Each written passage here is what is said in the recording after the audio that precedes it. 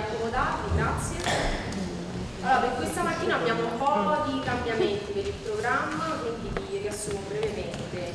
Aprirà Alessandra Chemolo c'è una piccola introduzione con il suo gruppo che hanno pensato diciamo, all'organizzazione di questa giornata, di queste giornate.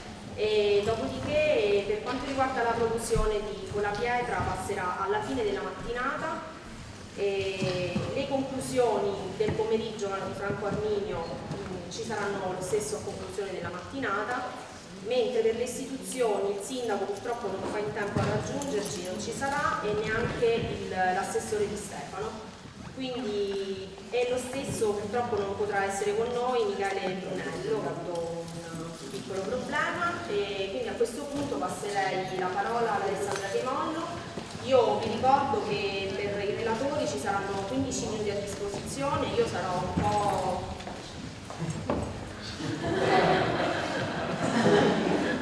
delle istituzioni, quindi l'assessore Luciano Marchetti 10 minuti. Ok, io avrò il cronometro, sarò... Sì, sì, sì, volendo, sì, certo, ci mancherebbe. Io quando faccerò questo mi siedo qui, eh, quindi mi vedete, sono presa a palletta.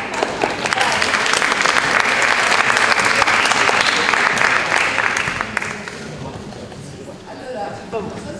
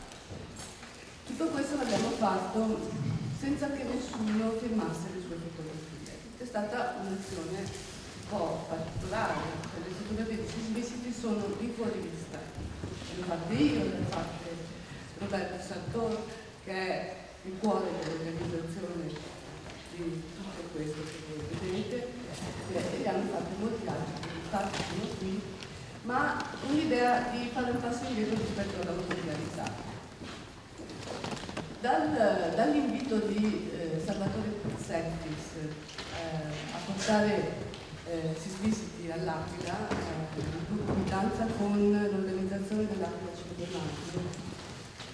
noi abbiamo pensato che gli aquilani di tutto avevano bisogno tranne che di vedere immagini di terre di luoghi terremotati e abbiamo pensato invece di rivolgere questo invito a, al mondo della fotografia. Che è stato generosissimo e ha dimostrato che sta dimostrando che eh, anche se nessuno tra le istituzioni ritiene utile costruire una memoria collettiva di quanto è successo, comunque pagandosi le spese e provando a discutere insieme su come fare un lavoro che non sia il lavoro di un singolo, ma che sia un lavoro coordinato. Tra persone che si confrontano sul metodo, eh, si può fare, si vuole fare, anche per dimostrare che forse chi ha dedicato la sua vita a cercare di vedere, quindi ad apprendere il modo in cui guardare le cose, in un qualche modo può offrire uno strumento che ha una sua utilità. Ed è questo il motivo per cui siamo qui. Siamo qui anche perché, eh, come tutti i cittadini che sono qui, abbiamo capito che ci sono dei problemi sistemici che non possono essere risolti in modo individuale e che quindi vanno risolti sistemicamente. Per questo motivo eh, abbiamo come prima azione fuori vista eh, costruito questo progetto insieme all'associazione Insegni, l'associazione aquilana, che con grande forza e grande coraggio ha aperto all'Aquila, a sue spese, un luogo di ritrovo della fotografia, che è la casa della fotografia, però purtroppo ha dovuto chiudere. Ed ha dovuto chiudere nel silenzio più generale, nell'indifferenza più generale, ha dovuto chiudere perché non aveva più i soldi per pagare la spesa. E io spero che il residuo di istituzioni che c'è qui possa cogliere anche tutta la potenzialità e la forza di questo lavoro per pensare di cercare uno spazio in cui eh, l'associazione Segni possa continuare il suo lavoro. Io penso che eh, quello che noi stiamo facendo è sperimentale, che come tutte le cose sperimentali ha molti rischi, che come tutte le cose che hanno molti rischi è fondamentale convivere quindi penso che siamo qui tutti per questo motivo. Eh, tra i rischi che abbiamo c'è quello di non sapere che cosa diventerà questa cosa. E forse potremmo provare a sviluppare da qui anche un ragionamento in questa direzione, cioè capire che cosa può diventare il lavoro di 60 fotografi che lavorano insieme che uniscono il loro sguardo allo sguardo delle persone che abitano questo luogo, eh, che cosa può diventare e in che modo può diventare veramente utile. Noi come associazioni abbiamo lanciato un'ipotesi che vorremmo eh, proporre qui alle istituzioni, se purtroppo anche questa volta con il sismisti è un po' un interlocutore eh, assente. Ringrazio molto l'assessore Pedini di essere qui a testimoniare la presenza delle istituzioni che peraltro ci mancano. Lanciamo questa, questa palla, lanciamo in aria, speriamo che qualcuno la raccolga. Dicono che all'Aquila partiranno moltissimi cantieri, si parla di 800 cantieri, forse di più, penso che l'ingegnere Maggiore possa dire con più precisione. E credo che questo processo di trasformazione della città potrebbe davvero entrare a far parte di un progetto di memoria collettiva, di quello che l'Aquila è oggi e di quello che l'Aquila diventerà. E che questa formula, questa messa in sinergia che noi stiamo cercando di sperimentare qui, potrebbe essere portata avanti in modo che le competenze possano essere portate all'Aquila come um, patrimonio. E che questi, queste relazioni che si stanno instaurando tra i fotografi che vengono da tutta Italia, facendosi anche 12 ore di treno, spendo loro per offrire questo lavoro all'Aquila, possa entrare a far parte di una competenza che diventa propria dei fotografi aquilani e che potrebbe costruire il racconto di questa trasformazione. Magari con un'istituzione che raccolga questa palla, che magari riesca a trovare i soldi per pagare le spese di viaggio, magari che possa dare un minimo di visibilità al lavoro che viene offerto, a partire dal presupposto che per chiunque abbia girato anche poco per l'Aquila e si sia trovato inevitabilmente ad attraversare una rotonda, risulta chiaro che regalare qualcosa all'Africa, che non è stato richiesto e che non è condiviso, forse non è utile. Grazie.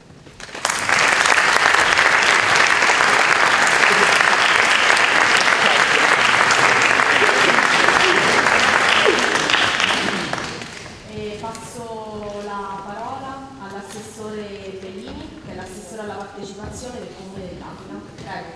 Sì, eh, buongiorno a tutte e a tutti mi parlo come residuo delle istituzioni, come è stato definito la mia presenza da, Alessandra.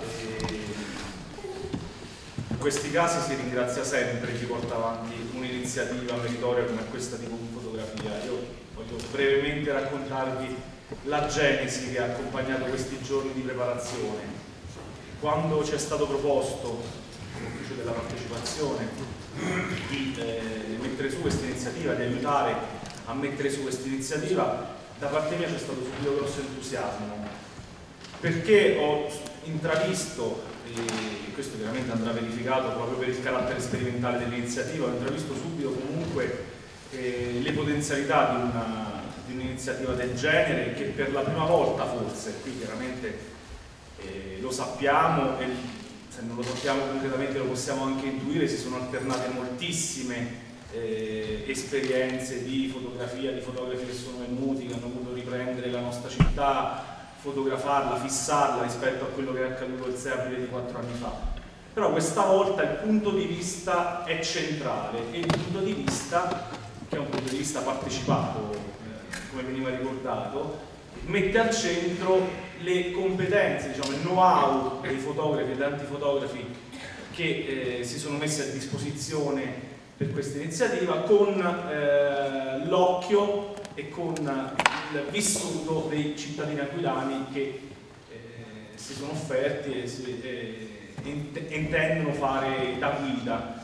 Quindi questa, questo incontro, questo questa bellissima sinergia che si viene a creare dagli esiti tutt'altro che scontati, perché chiaramente essendo un progetto sperimentale ed essendo comunque l'incontro tra eh, competenze e punti di vista diversi, eh, potrà avere ogni esito, potrà venire fuori qualunque cosa e questo già eh, dal mio punto di vista già è qualcosa di molto positivo perché scompagina un po' eh, la narrazione che c'è stata negli ultimi anni ed è proprio questo il punto centrale.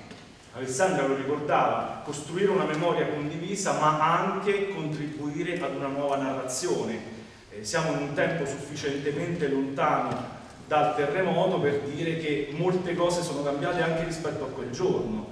Eh, in questi giorni vedete molte demolizioni, la ricostruzione del centro storico, seppur ancora timidamente è partita, ci sono circa 60 cantieri, se ne, se ne apriranno ancora. E tutto questo eh, mettere ancora una volta l'obiettivo sulla nostra città, ma in termini diversi, dal mio punto di vista, oltre che per la valenza dell'iniziativa, è anche un qualcosa che può aiutare questa città nella proiezione che può darne all'esterno a far comprendere al meglio che l'Aquila è un eh, patrimonio dell'umanità che a distanza di quattro anni e mezzo versa ancora una, nello stato che conosciamo e che forse i vari punti di vista compongono qualcosa che appunto crei e costruisca una nuova narrazione. Io ieri mentre pensavo a questa iniziativa, ci siamo sentiti molte volte in questi giorni, anzi eh, purtroppo la repentinità del, eh, diciamo dell'organizzazione ha messo a nudo Alessandro Rosaro, Roberto, la difficoltà anche per l'amministrazione di dare una mano concreta con tutta la volontà di farlo quindi il tutto si è svolto in un'organizzazione dico volontaristico che eh, per forza di cose ha scontato anche delle mancanze, delle lacune però diciamo eh, il solco è tracciato, la strada è tracciata e comunque abbiamo la possibilità di ripeterla, di integrarla, speriamo che appunto questo progetto sperimentale ci conduca, ci conduca a qualcosa che eh, anche nei prossimi anni si possa ripetere e integrare. Dicevo, ieri mentre pensavo a questa iniziativa eh, mi veniva in mente, eh, io sono diciamo, da profano, senso mi piace fare foto, ma chiaramente eh, sono mio punto di vista è un punto di vista dilettantistico, però pensavo al potere della foto, che ha il potere appunto quello di cogliere, di fissare un momento. E eh, mi viene in mente di contrapporlo alla velocità invece del, eh, dei nostri giorni, del nostro mondo contemporaneo, dove tutte le informazioni sono estremamente veloci, dove tutto viene aggiornato in tempo reale, i social network, internet, quindi tutto entra in un tritacarne che macina ogni giorno notizie, informazioni e quant'altro. La fotografia invece ha questo potere di fissare l'immagine, di fissare un momento, che ferma anche una riflessione, che invita anche ad una riflessione, perché quando guardiamo una fotografia cogliamo delle cose che magari nel momento che eh, in un video o nell'esperienza pratica non riusciamo a cogliere.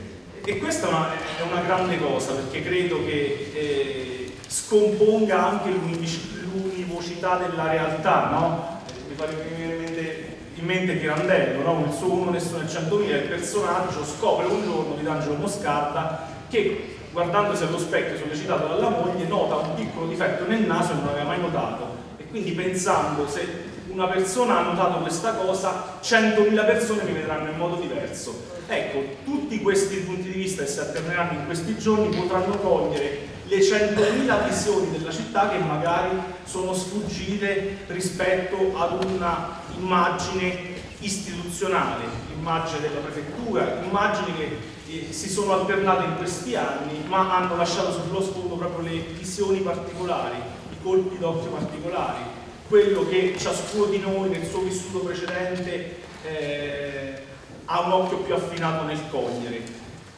E questa, questa, questa, iniziativa sono sicuro che riuscirà con un punto di vista partecipativo delle persone che faranno da guida a cogliere tanti, tanti eh, elementi e tanti squarci, tanti scorci, tante, eh, tanti elementi che sono sfuggiti in questi anni e che quindi proiettano la città verso un qualcosa eh, che parli di sé anche per il futuro se voi riflettete anche per esempio in che cosa è diventata la rotatoria, faccio un esempio per, eh, per gli aquilani, la rotatoria eh, intorno a Piale Corrado IV, dove l'abbattimento di, di, un edificio ha aperto un mondo, cioè un edificio orrendo lì, adesso è diventata una piazza praticamente, una rotatoria è diventata una piazza, cambiando completamente la conformazione di, quel, di quel luogo.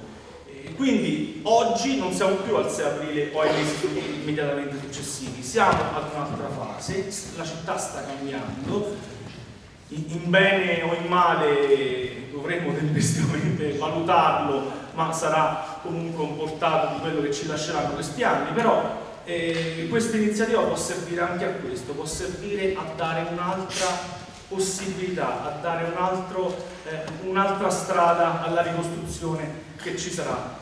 E quindi io sono doppiamente grato a questa iniziativa, mi dispiace ovviamente che non ci sono il sindaco che eh, il fine settimana normalmente è impegnato nel suo lavoro all'ospedale e anche l'assessore di Stefano non so per quale ragione non è presente, però l'importante dell'iniziativa non è né la presenza delle istituzioni né il fatto che eh, portino un saluto. L'amministrazione eh, c'è, la prossima volta magari riusciremo a dare un contributo più fattivo, eh, ma credo che di fronte, con questo voglio, voglio, chiudere, di fronte a quello che è avvenuto, io adesso eh, è un po' di tempo che cerco di lasciare da parte la tragedia, il ricordo anche lessicale del, del 6 aprile, dobbiamo andare oltre e parlarne in, in termini diversi, però credo che eh, i punti di vista diversi che ci possono essere in questa città eh, siano anche eh, punti di vista eh, diciamo eh, non omologati, non omologati.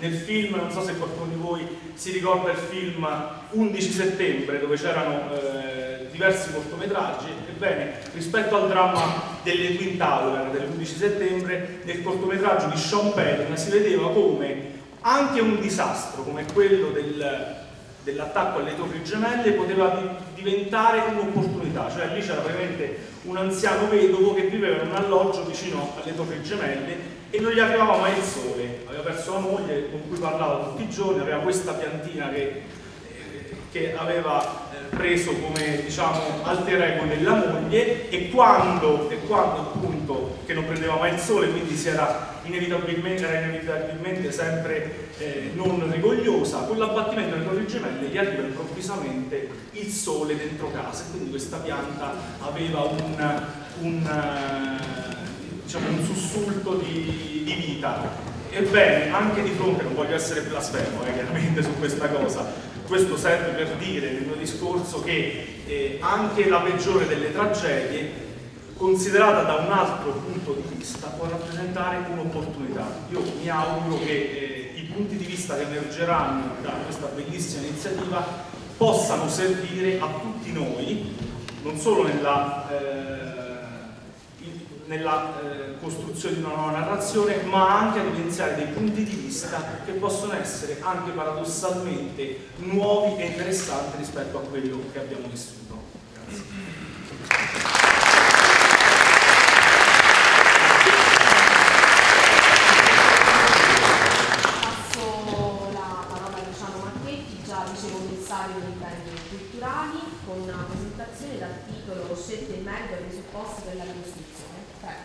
Grazie. Beh, eh, io mi dedico a parlare di queste istituzioni, non dalle istituzioni, istituzioni passate. Eh, io sono interessato a questa cosa perché tutto sommato noi viviamo in un paese che ha una capacità eccezionale, che è quella di non fare mai tesoro di quello che è successo prima. Ogni volta che si fa qualcosa, che succede qualcosa, si riparte da zero tutto ciò che è accaduto precedentemente non viene considerato. Quindi questo tentativo di capire, di leggere la realtà e lasciare documentazione secondo me è un elemento importante. L'Aquila è una situazione particolare perché rispetto al resto di, agli altri eventi recenti in Italia era il primo caso dopo Messina di un centro di grandi dimensioni fortemente danneggiato. Però se noi pensiamo al Friuli, al comportamento del Friuli, all'Umbria, a Marche, quello che si è fatto allora, quello che si è fatto in Irpinia, quello che si è fatto altrove, voi vedrete che ogni volta, sia sotto il profilo normativo, sia sotto il profilo operativo, si è ripartiti ricominciando da capo. Pensate a questo, no? In, in Umbria Marche, ma anche Virginia prima e eh, prima ancora in Friuli, gli sfollati sono stati messi nelle tende.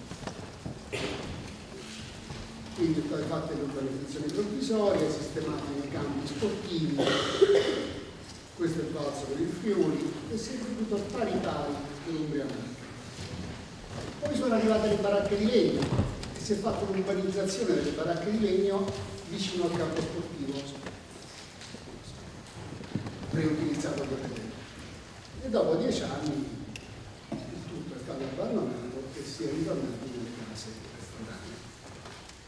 All'Aquila si è fatto un procedimento diverso, si è fatta una struttura fissa, benissimo, ma il criterio con cui questa spina di nuovi centri, nuovi piccoli centri, è stato quello delle baracche di legno.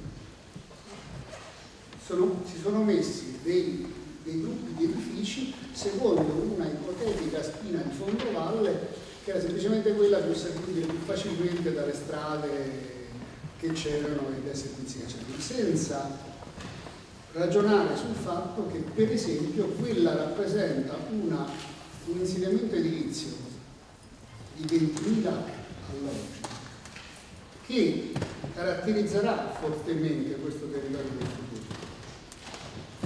E quindi forse valeva la pena perderci qualche giorno di più, ma fare un discorso di tipo urbanistico più dettagliato. Lo stesso discorso vale per il territorio circostante. Ehm, io avevo un compito preciso che era quello di difendere i monumenti, quindi tutto sommato il mio compito era questo. Però se voi pensate, le frazioni di questa città, cosa è rimasto delle tracce di Oni? La chiesa. Perché l'hanno finanziata i tedeschi e perché è stata interrata subito, ma su una parte. Eh, San Gregorio, neanche la chiesa.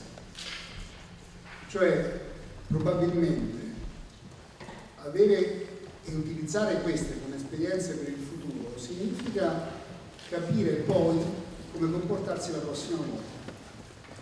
E tutto sommato qui abbiamo fatto delle invenzioni, degli studi diversi, eccetera, per cui vedete, girando il centro storico vedete un sistema di messa in sicurezza che non ha paragone con quello che è stato utilizzato negli altri, negli altri eventi, però ed è frutto del fatto che bene o male dall'Umbria questa cosa si è sedimentata sia come Ministero Beni Culturali sia come Vigili del Fuoco, tutto sommato quelli che hanno operato queste cose sono stati il Ministero ha dato soltanto la progettazione di queste cose.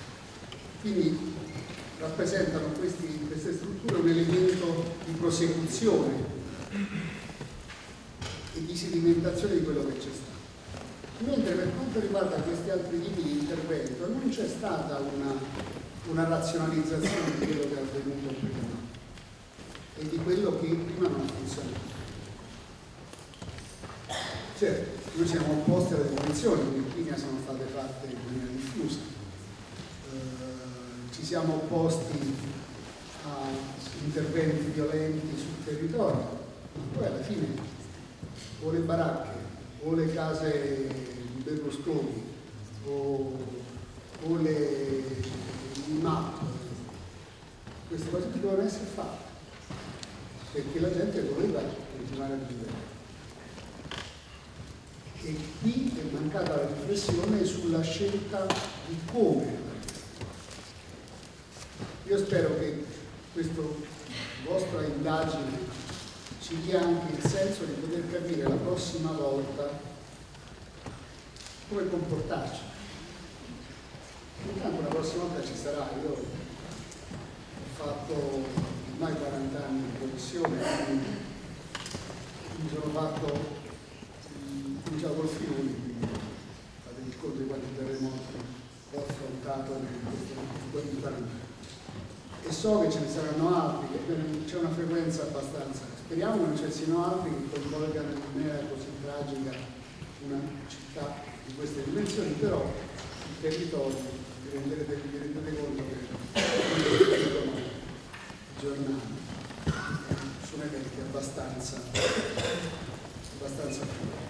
Quindi riuscire a capire come comportarsi nel futuro può essere un'utile sedimentazione per i prossimi anni. Questa nostra visione territorio, come è stato in realtà trasformato, in parte dal terremoto, ma in parte dalle scelte che sono state fatte dopo, è altrettanto importante. Io penso che eh, la ricostruzione non è una gara, per cui se si arriva primi si è stati più bravi. Friuli ci ha messo 15 anni, non che ci ha messo poco io personalmente ho partecipato alla commissione di ritorno di Menzone che è stato reinaugurato dopo 15 anni dal terremoto. Marche Umbria, grosso è stato fatto in 10 anni, il resto si sta finendo adesso. Quindi non, sono, non è un, un premio al primo che arriva. Ci dovrebbe essere un premio a chi riesce a farlo meglio ragionevolmente, più razionalmente e più utile per la popolazione. Questo sicuramente dovrebbe essere l'obiettivo, non certo il discorso di non, non assolutamente pensare che stiamo facendo una corsa una corsa per arrivare primi nella, nella scelta di questa gara di ritorno dalla catastrofe. Peraltro alcune scelte potrebbero essere più evitate perché eh, pensate a tutto ciò che viene fatto, che verrà fatto, nel centro storico dell'Aquila per la ricostruzione. Pensate a come questo centro storico potrebbe essere ripensato, perché il discorso di com'era Ecozia è un discorso che al momento si può dire, ma quando si va a operare realmente, la copia di com'era e dov'era è un'utopia che come fotografi dovreste conoscere molto meglio di me. La foto non è mai l'originale e la copia di una città mai la città stessa. Quindi può essere il momento di pensare a come scelte urbanistiche, può essere il momento di ragionare su alcune decisioni prese nel passato e che vanno, possono essere riviste. Quindi forse vale la pena di perdere qualche giorno o qualche mese ragionando su queste cose, piuttosto che bilanciarsi in una corsa a chi arriva prima. Grazie.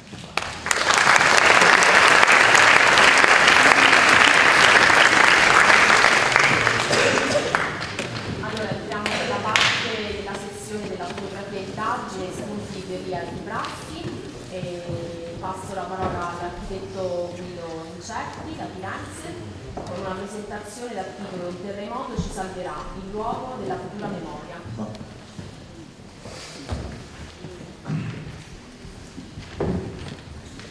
Buongiorno, si sente? Un po' di voce. Ah, no, no, io non è problema.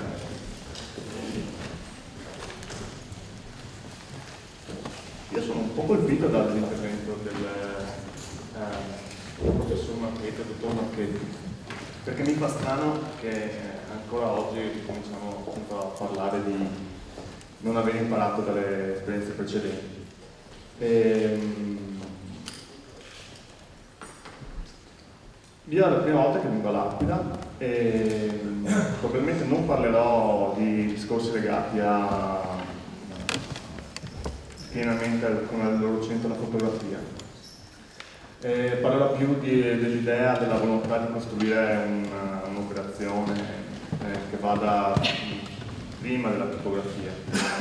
E, io mi trovo qui probabilmente solamente perché tipo due anni fa un Festark a Perugia, 20 giorni dopo il terremoto che aveva colpito l'Emilia Romagna e quindi un paio d'anni dopo ehm, quello che aveva colpito l'Aquila. Eh, mi ricordo che in quel Festark c'erano archistar, grandi interventi di urbanisti, giornalisti di architettura, di fotografia, grandi fotografi, ehm, che parlavano per tre giorni continuativamente di architettura, città, urbanistica, operazioni futuro, questo e quell'altro. Era successo qualcosa eh, per me di parimenti, di parimenti drammatico che l'Aquila, cioè cambia l'estensione ma l'entità dei danni è la stessa, se voi andate a Mirandola o andate a Finale Emilia è uguale, cioè senso il paese devastato tanto quanto l'Aquila è più piccolo.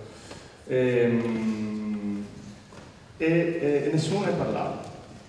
Cioè proprio silenzio totale, nessun problema, andiamo avanti, pensiamo ai brick, ma non pensiamo all'Emilia Romagna che era appena stata distrutta.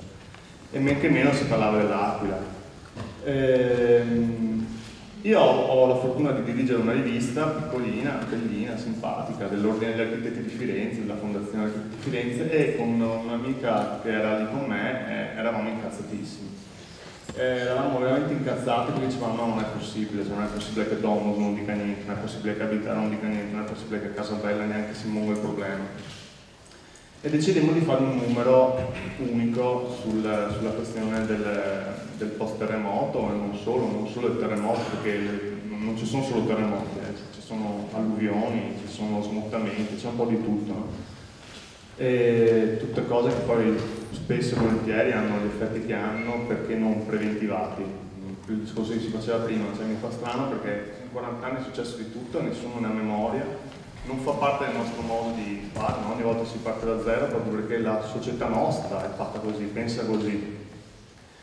C'è un concetto cinese che è un concetto del ma che pone in continuità tempo, spazio, vita, no? e quindi voi se voi andate a vedere no, l'approccio cinese o l'approccio giapponese a questo tipo di cose è completamente differente perché per loro la catastrofe è insita nella loro mentalità, sanno che può capitare, cioè non, è, non, si pongono il problema, lo, lo, lo, lo prendono come possibilità di parte di una vita. Tanto quanto è un qualcosa che eh, gli amministratori, gli urbanisti, gli studenti, i professori dell'università dovrebbero dire, immaginare. No? Un, un, un, problema un, di questo tipo può diventare anche un, uh, un atto di pianificazione urbana detta un po' cruda, ma è così.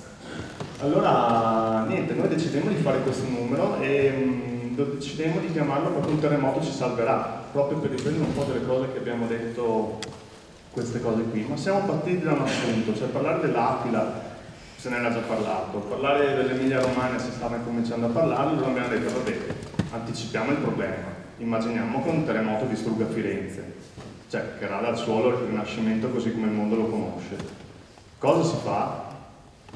Gelo. Cioè, le istituzioni hanno avuto il gelo, cioè nel senso quando abbiamo fatto questa domanda sono sbiancati. Non che non si faccia niente, eh, perché si sta facendo, però come sempre sembra che la cosa non venga posta in considerazione, cioè non, non deve mai capitare, non capiterà. E io mi sono posto invece il problema di cosa succede a Firenze se casca, se, se, se viene demolito in una notte il, la, la cupola del Brunelleschi e non solo, se perdiamo gli uffizi piuttosto che il campanile di Raffaello e tutto quanto quello che ne consegue. E da lì è nato lo sviluppo di questo numero, è nato lo sviluppo di questo numero per cercare di, di far capire o cercare di innanzitutto stimolare le istituzioni a porsi la domanda. Ribadisco, la legislazione c'è, la cosa che a me ha colpito facendo questo numero è che la legislazione, eh, la ricerca scientifica, c'è tutto, mancano i fondi, cioè noi volendo potremmo mettere in sicurezza il paese con di con 8 miliardi di euro, non proprio poco, però nel senso le conoscenze per poterlo fare ci sono.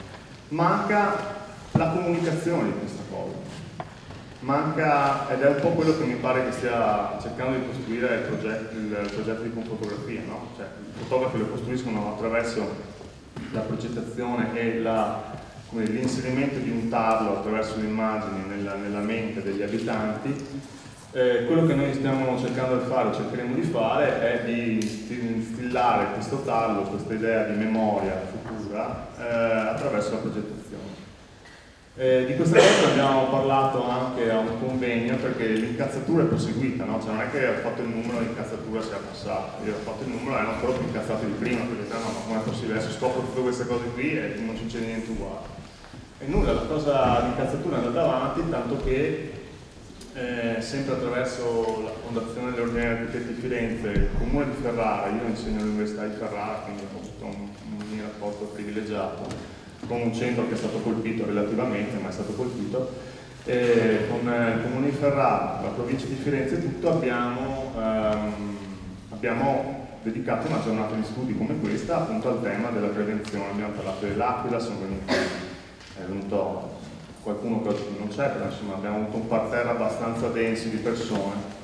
E in quell'ambito lì eh, abbiamo avanzato la proposta che insomma uno dei primi atti di prevenzione da poter fare è semplicemente riuscire a spingere le persone a eh, ehm, preventivare il problema e quindi di conseguenza intervenire sulle loro case, cosa che magari generalmente non si fa. E allora semplicemente la, la, la fondazione ha costruito un piccolo pacchetto di regole che poi è stato, eh, è stato esposto in quell'occasione e abbiamo avuto un discreto ufficio stampa fortunatamente che è riuscito a lanciare molto bene la notizia e la sera c'era arrivata la, fatto, la, la news proprio dall'ANSA che il vice ministro Erasmo De Angelis aveva recepito quello che noi avevamo detto durante quella giornata e quello che ci eravamo studiati tre mesi prima ed era riuscito a parlarne con il ministro Lupi e quello che è e nel famoso decreto del fare finalmente erano entrate, entrate sgravi fiscali che decide di migliorare significativamente la propria abitazione.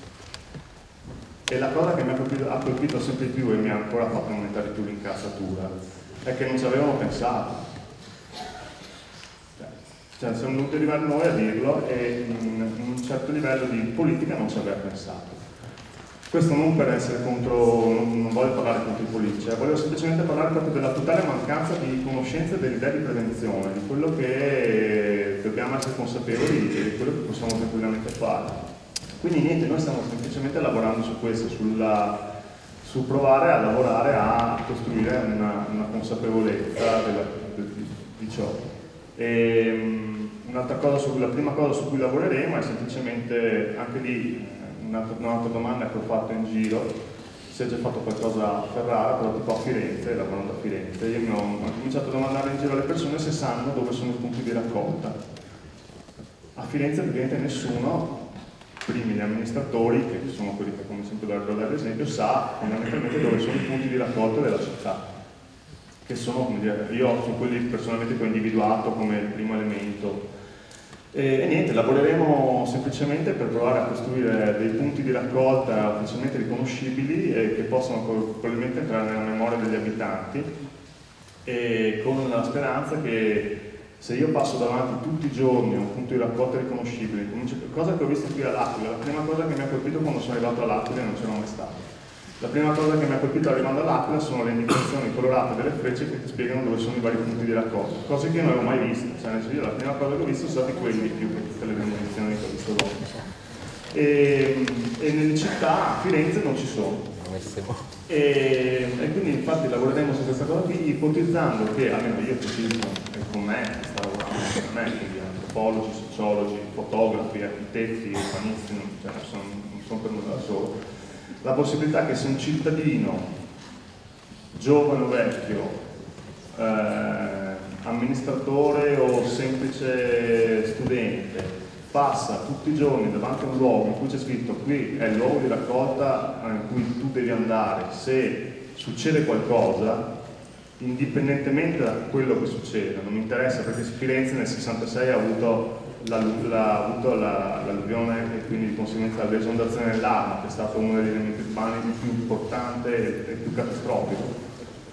Come dire, se le persone cominciano forse piano piano, instillando goccia a goccia, ehm, la conoscenza che in quel luogo pubblico c'è un luogo di raccolta perché potrebbe succedere qualcosa e lì devono andare, forse l'intenzione è quella di costruire una, una, piccola idea di prevenzione, di coscienza, che vada oltre i volantini della protezione civile con Topolino che sono molto belli, sono molto simpatici, Topolino dice delle bellissime cose però non arriva da nessuna parte e quindi niente, proveremo a fare questo e a non interrompere appunto quel flusso di cui si diceva prima, cioè cercheremo che, di, di, capire se è possibile eh, non far arrivare di volta in volta al punto zero e ripartire da capo, cioè che lo spazio urbano sia in continuità.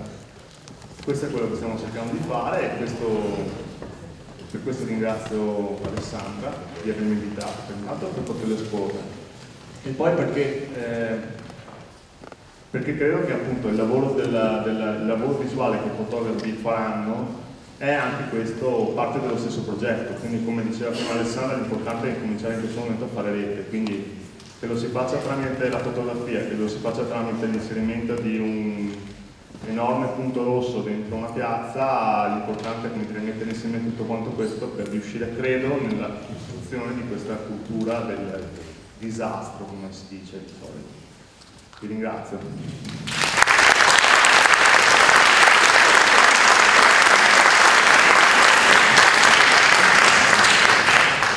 Passo la parola a Pietro Orlandi, Istituto per i beni artistici, culturali e naturali della Regione Emilia Romagna, con un intervento dal titolo Campagne fotografiche e progetto urbanistico. Sì, buongiorno, va bene? Sente? capisco come si comanda il microfono, funziona voce. un'altra cosa che forse non so, ecco, la mia presentazione non posso mandarla da qua, quindi non posso, perché non è automatizzata, l'anno scorso.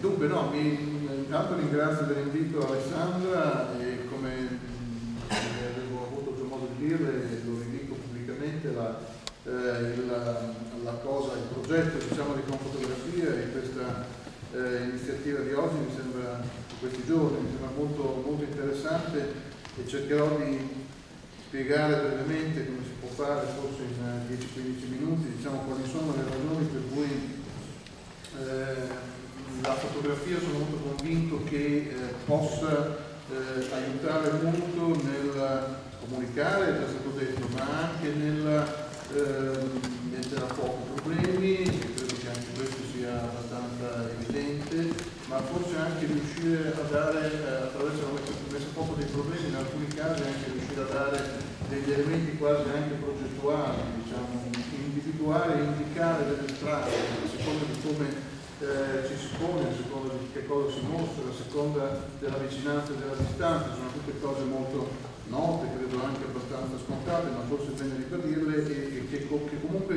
eh, diciamo, eh, concorrono a produrre l'idea eh, che la fotografia possa avere anche un ruolo eh, molto forte nella indicazione delle metodiche, del metodo diciamo, con cui puoi eh, condurre qualsiasi tipo di progetto, di progetto urbanistico.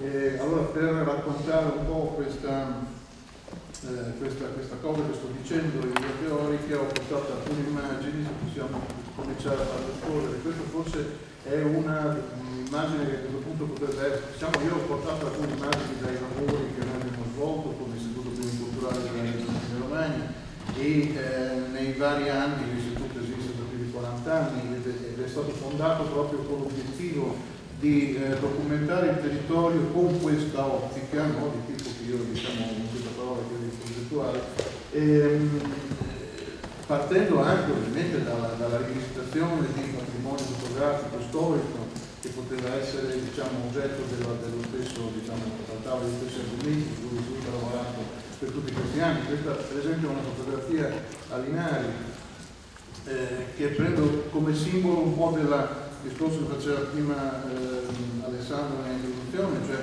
di fatto noi conosciamo eh, la fotografia di Nari, conosciamo la ditta, non conosciamo nemmeno, perlomeno sono molto meno noti, eh, i fotografi no? che fotografavano, allora lo stesso spirito di fotografia, per quello che credo di aver colto e capito, cioè il fatto di eh, eliminare un po' quest'aura diciamo, dell'autorialità che certe volte si impone eh, in maniera anche eccessiva no? e invece avere attraverso questa forma partecipativa della fotografia più collettiva sicuramente eh, una modalità di impatto e di comunicazione e di, di costituzione della rete e di eh, diciamo, eh, passaggio delle informazioni, di condivisione delle informazioni molto più forte.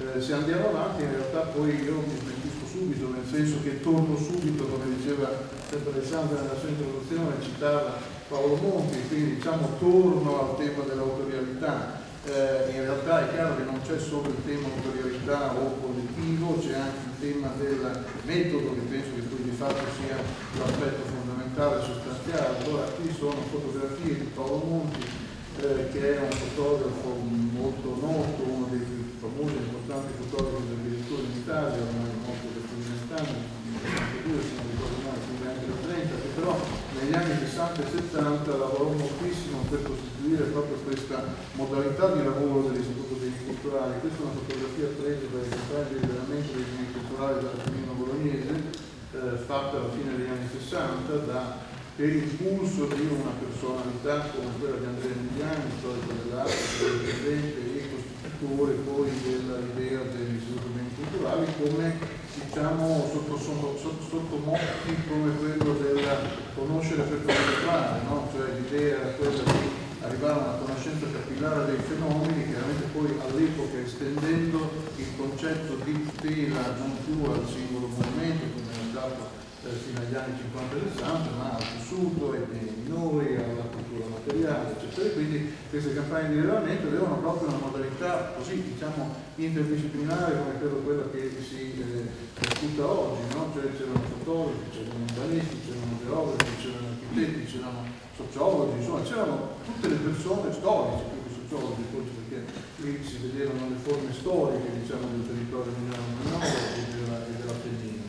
Se andiamo avanti vediamo forse invece altre fotografie di monti che sono portate sul centro storico dell'Emilia Romagna. Monti ha fatto un lavoro monumentale sui centri storici dell'Emilia Romagna, non saprei neanche dire migliaia di fotografie in tutti i centri storici, partendo da Bologna, Modena, Cesena, Forlì, a Rimini, Ferrara, non so se ne dimentico qualcuno, poi molti centri minori. Ecco, Monti aveva naturalmente, essendo un grande fotografo, un'abilità di rappresentazione, qui vediamo una via del centro di Bologna, via Zamboni, una zona universitaria, con questa mirabile capacità di chiari e scuri, ma soprattutto di comprensione urbanistica, no? perché qui vediamo eh, l'intreccio tra il portico, la strada, i vari portici, le varie direzioni diciamo, di, queste, di, queste, di questi assi urbani. Chiaramente Monti aveva una forza un, talmente eh, diciamo, determinante dell'amministrazione dopo, che, che gli stava dietro, delle amministrazioni comunali, eh, amministrazioni all'epoca monopolori o comunque di forte, di forte strutturazione politica, no? Per cui diciamo, le idee erano molto chiare, le fotografie erano altrettanto chiare, eh, non si poneva certamente il problema che probabilmente si pone oggi, perché lo si pone, io lavoro in un'istituzione, quindi so bene che spesso questi materiali vengono prodotti e poi difficilmente vengono utilizzati, no? se ne parlato anche precedenti in questo caso erano prodotti utilizzatissimi, forse anche troppo utilizzati, nel senso che certo non è una corte di Monti, che è stato un grandissimo fotografo, così come è stata grandissima, credo questa iniziativa, posso dire perché io c'entro nulla, quindi cioè, è una cosa di, di, di, epoche precedenti, all'inizio anche della comunità mia nell'istituto, quindi è, è stata una grandissima iniziativa che però ha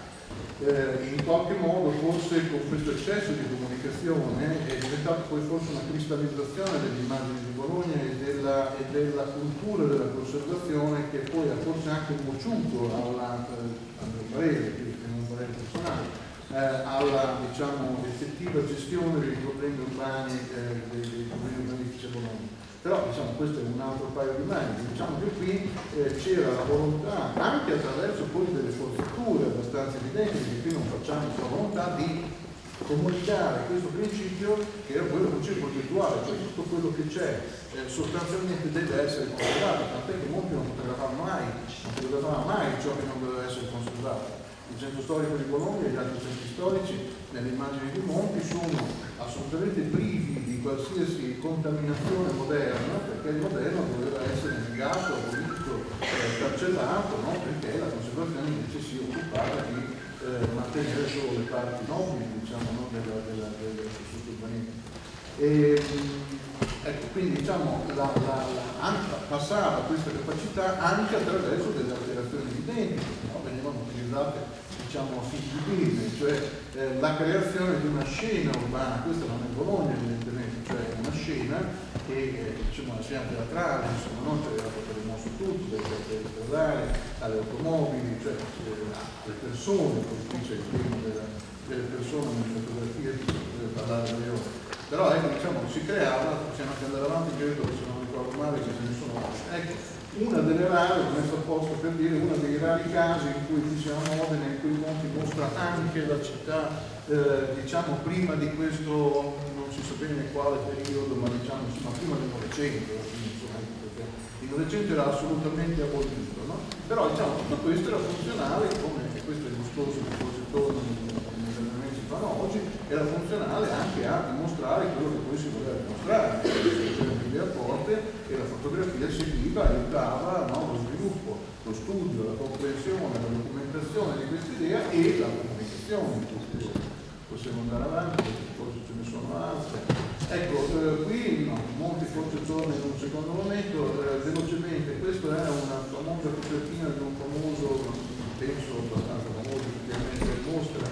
a Bologna negli anni 80 e negli anni 80 per il dato immagine e realtà, dove ci andiamo avanti ancora, eh, ho preso solo questo come immagine emblematica, queste sono tre fotografie di Luigi Ghirri. Ecco, Ghirri chiaramente eh, all'epoca era eh, assolutamente eh, una visione assolutamente insopportabile per la visione del centro storico come quella che Monti e le amministrazioni bolognesi e emiliane avevano?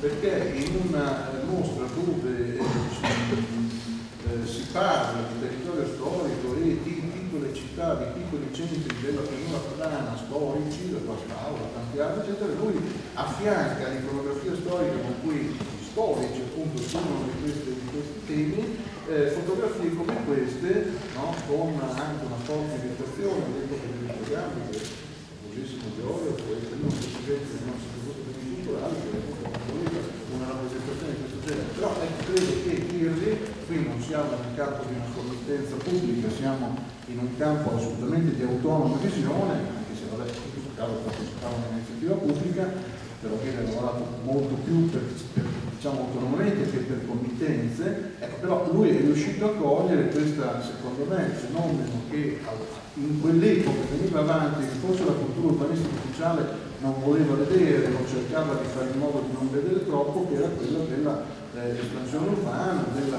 fine della, rurale, alla fine, quindi dell'espansione della città sul territorio. Andiamo avanti perché dobbiamo andare veloce. Eh, queste sono fotografie che abbiamo commissionato anni fa di vedere Basilico per un lavoro che facciamo sulle aree produttive dismesse, sulle aree industriali dismesse, in occasione dell'uscita di una legge regionale sulla riqualificazione urbana. Possiamo scorrere perché credo che ce ne siano alcuni, sono temi molto diversi, nel senso che...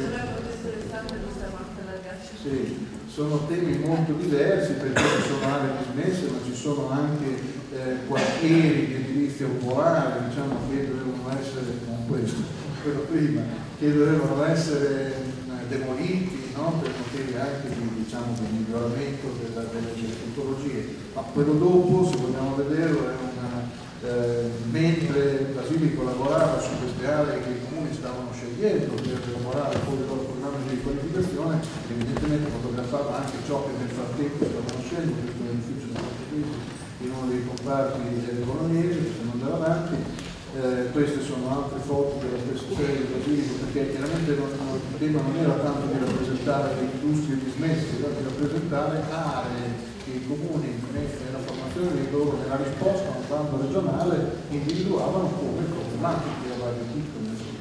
Andiamo avanti. Questo è un altro serie di basilico sulla costa, al verde della costa, andiamo avanti. Però ecco, queste sono un'altra foto di basilico fatta invece molto più recentemente nel 2011 a Modena, eh, tornando eh, su un comparto, acciaierie, fonderie Modena, eccetera, dove nel frattempo era stato sviluppato eh, Modena Nord, un progetto anche molto, molto eh, contrastato. Andiamo avanti. Eh, ecco, questa è un altro, sempre di questa serie più recente delle foto che Basilica ha fatto per Modena, ehm, è un eh, lavoro che è stato fatto dalla città di Modena Modena da un centro di ricerca e di studi sulla storia urbana eh, sulla moda del Novecento. Allora noi avevamo pensato come istituto culturale di, di contribuire a dare questo tipo di alle linee per eh, diciamo, eh, affiancare la visione del monte, storica, anche invece questi nuovi temi che Gabriele Basilico ovviamente il suo lavoro quotidiano, insomma, no? cioè la città del Novecento, la, la periferie o comunque anche diciamo, la, la, la, i livelli interessanti o importanti anche con cui il Novecento si è espresso, si è espresso, ecco allora la, nostra città, per esempio l'edificio di Vincio Vecchio, che è un professionista abbastanza importante, molto da studiare, cioè diciamo sempre nell'ottica di cercare di differenziare, così come diciamo stati importanti, però così come molti avevano fatto, forse uno sguardo sulla città del Novecento invece ha tornato e eh, portato avanti anche con la capacità di distinguere il buono, il buono, il discreto, cioè non facendo un buon fascio, ecco in questo senso la fotografia di ricerca, la fotografia di indagine, eh, che chiaramente deve essere preparata, questo è quello che credo si, discute, che si è stato fatto, che si farà nei prossimi giorni, preparata da riflessioni, conoscenze, no? eh, conoscenze abbastanza approfondite e magari anche le persone che eh, conoscono il luogo. Andiamo avanti. Questo è un altro piccolo esempio che cerco di condurre molto brevemente, una foto di Guido Guidi. Ecco, questo sempre per dire la convinzione che la fotografia possa servire per eh, contesto quadro concettuale che dicevo prima, è chiaro che il concettuale non vuol dire che può sostituirsi al progetto nel senso di matita o di, o di, o di, o di computer o di però intendo dire per sviluppare l'idea, per sviluppare la, la concezione, no? concettuale che può aiutare ovviamente, al di là che sia bella, che sia brutta, cioè il tema è quello di esplicitare un concetto. Questa è una foto di Bridi che serviva, eh, qui fa da una serie che commissionammo a linea di Consiglio della fotografia contemporanea ehm, per in occasione di una legge regionale che conteneva anche un articolo abbastanza complesso da definire, da studiare, da sviscerare, che era eh, un tema, la eliminazione delle opere incongrue con il paesaggio, cioè un articolo di questa legge che prevedeva anche un sostegno regionale all'eventuale eliminazione, demolizione di edifici considerati incongrui con il paesaggio, secondo sviluppi di ragionamenti che i comuni dovevano fare all'interno dei loro piani urbanistica. E allora si decise, siccome era difficile definire cosa significasse questo, la legge aveva lanciato un tema, non aveva eh, spiegato per filo e per segno, anche perché non si riteneva che fosse un tema univoco, poteva essere diversamente declinato a seconda delle diverse situazioni territoriali, delle diverse sensibilità delle comunità, eccetera. Allora, in questo caso chiaramente non facemmo un lavoro partecipato veramente con i cittadini, facemmo un lavoro attraverso l'interpretazione che i comuni tecnici potevano dare di questo tema, la loro possibilità e conoscenza, e andavamo a girare nel territorio dei 400 comuni con i fotografi, in questo caso avevamo questo nuovo dei monti, questo è un edificio tutti, tutti edifici regolarmente assentiti, non, non, non, non edifici, come si dice, non, non regolari. E, e, ecco, questo alla fine poi è un edificio che è stato eh, demolito, era una, un edificio a cinque piani, ma in mezzo al muro sul piano di una collina. Ecco, andiamo avanti. Questa è un'altra foto di Guido Guiglia che è il maggiore, con quella forma anche certe volte un po' irritante, diciamo, di approccio di realismo nei confronti iperdettaglio no? e della ricerca anche un po' dello sgradevole, però in questo caso era, era, molto opportuno perché il concetto che c'era dietro era che a Castelmaggiore, della struttura bolognese, eh, l'incongruità di fatto era l'incongruità di questi luoghi, di tutti gli spazi, della incapacità di progettare, di, di accudire diciamo, lo spazio pubblico. Andiamo avanti. Queste sono fotografie che fece Claudio Sodatino, un fotografo napoletano milanese, eh, su un altro incarico che demmo a, a, eh, per una ricerca sul Po. Eh, noi decidemmo di trattare il Po in una maniera un po' anticonvenzionale, volendo però ecco, la fotografia credo che abbia anche questa capacità anche di smascheramento, no? cioè di smascheramento anche di luoghi comuni. E, allora, noi avevamo, non si sente? Noi avevamo eh, l'idea di rappresentare il Po una volta tanto anche come una città, nel senso che poi di fatto il Po ha 700.000 abitanti no? sulle, sulle, sulle, proprie rive, diciamo, ecco, un minuto, ho finito. E allora eh, diciamo far vedere anche quello che c'è intorno, dalle case ai quartieri, ai, ai, ai, luoghi dove la gente viveva questa città. Andiamo avanti e, e quindi queste erano le immagini che Sabatino ha fatto secondo questo concetto che piace molto poco al nostro assessorato al turismo, anzi diciamo che piace pochissimo, però secondo noi avevamo l'intenzione anche di eh, vedere questa, questi, questi, luoghi in maniera diversa dal solito. Questa è una foto, ho visto prima Michele Buda, quindi una, perché è una sua fotografia legata a un lavoro che facemmo sull'architettura del secondo Novecento in Emilia Romagna, quindi partecipò peraltro anche Alessandro, vari fotografi a cui vengo incarichi di approfondire alcuni temi specifici. Eh, Michele lavora ovviamente sugli edifici alti della costa adriatica. Andiamo avanti. Eh, questa è un'altra foto di Michele che avevo messo proprio perché è una foto del centro storico di Bologna e ehm, eh, diciamo che molti non l'avrebbe fatta perché mescola diciamo, cose anche, non so, l'edificio di destra è della, della mia Marconi anni 30 che sicuramente non esiste una foto di Monti perché non è considerato centro storico. Cioè, siamo nel centro storico, ma non è un vero centro storico. Guarda, mi fermo, eh, scorriamo, questa è una foto di Monte Battaglia, mi sembra di aver visto che Monte Battaglia era, no, forse ho visto male, no, no, visto bene. È una foto di Monte Battaglia delle gocce di Cucinello, che fu un dibattito lungo e, e, forse anche faticoso, per non dire veramente eh, di Bologna di 8-7 anni un'altra foto di Battaglia, sempre della serie della fotografia dell'architettura del secondo novecento in regione, andiamo avanti, non si battaglia di nuovo, poi credo che ormai sia da finendo, ma insomma diciamo, i concetti che volevo dire sono questi, quindi credo che siamo finiti anche lì. Allora, torniamo.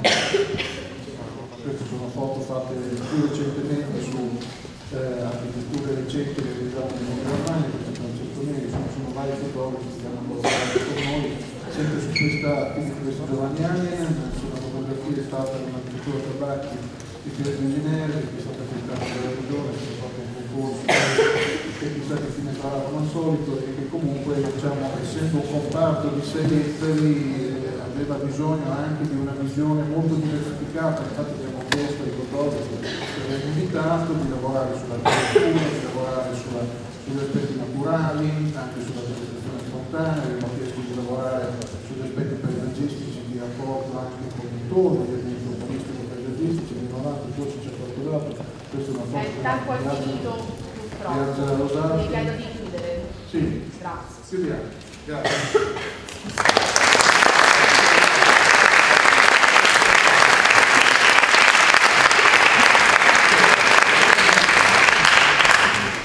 Salve la... mi essere un po' svizzera. Allora, passo la parola all'associazione Terzi, ragazze Chiara Antonici e Fiorenza Pinna, con intervento dal titolo L'impatto del reale sull'impartenza.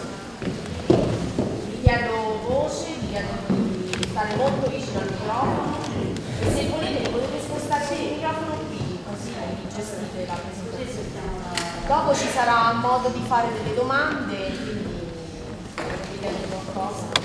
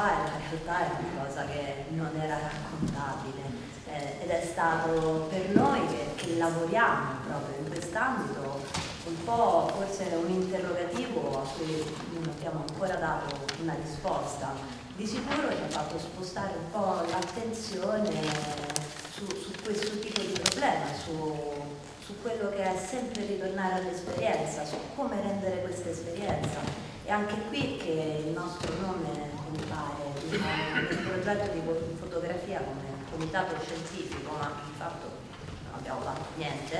E ci chiediamo un po' cosa possiamo dare a voi, come possiamo rapportarci a voi adesso e probabilmente più che ora dopo.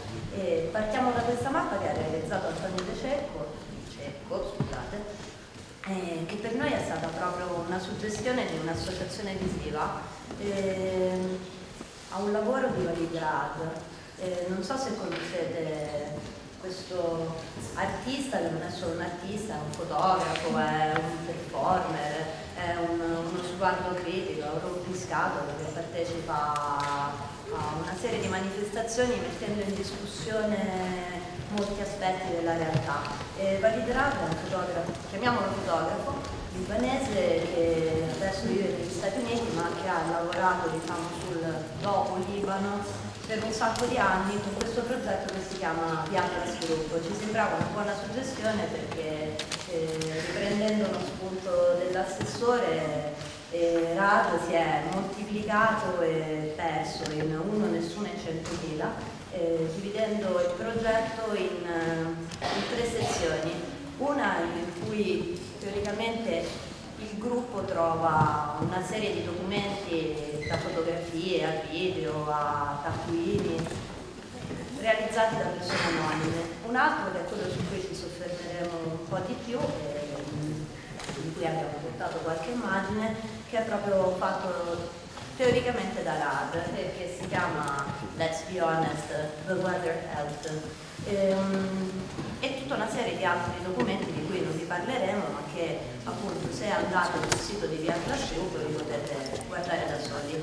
Allora la suggestione qui era che a una serie di fotografie teoricamente realizzate durante e dopo la, la fine della guerra in Libano eh, Rata ha iniziato a raccogliere tutta una serie di bossoli di proiettili rendendosi conto che ogni bossolo più o meno corrispondeva la nazione che aveva fornito questi proiettili le rispettive armi ehm, ai vari soggetti coinvolti nella guerra e ehm, ha creato questa tassonomia arbitraria che qui vediamo rappresentata da questi pallini che un po' come i pallini che ha usato Antonio nella mappa raccontano eh, la partecipazione delle varie nazioni in maniera indiretta alla, alla guerra libanese.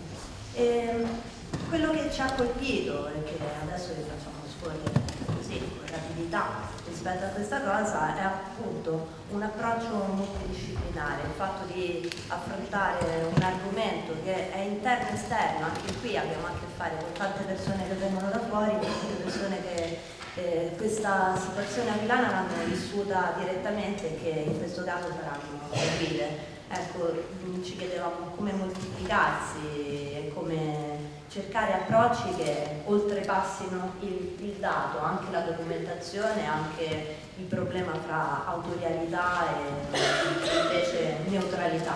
Forse un'iperautorialità eh, come quella che ci propone RAD e che si basa su qualche cosa che ci mette anche un po' in guardia sulla eh, verosimiglianza del, del dato che ci viene riportato, perché tutto il lavoro di Rato non si capisce quanto abbia a che fare con quello che è successo veramente o sia una rappresentazione che riporta più sul, sul versante immaginario.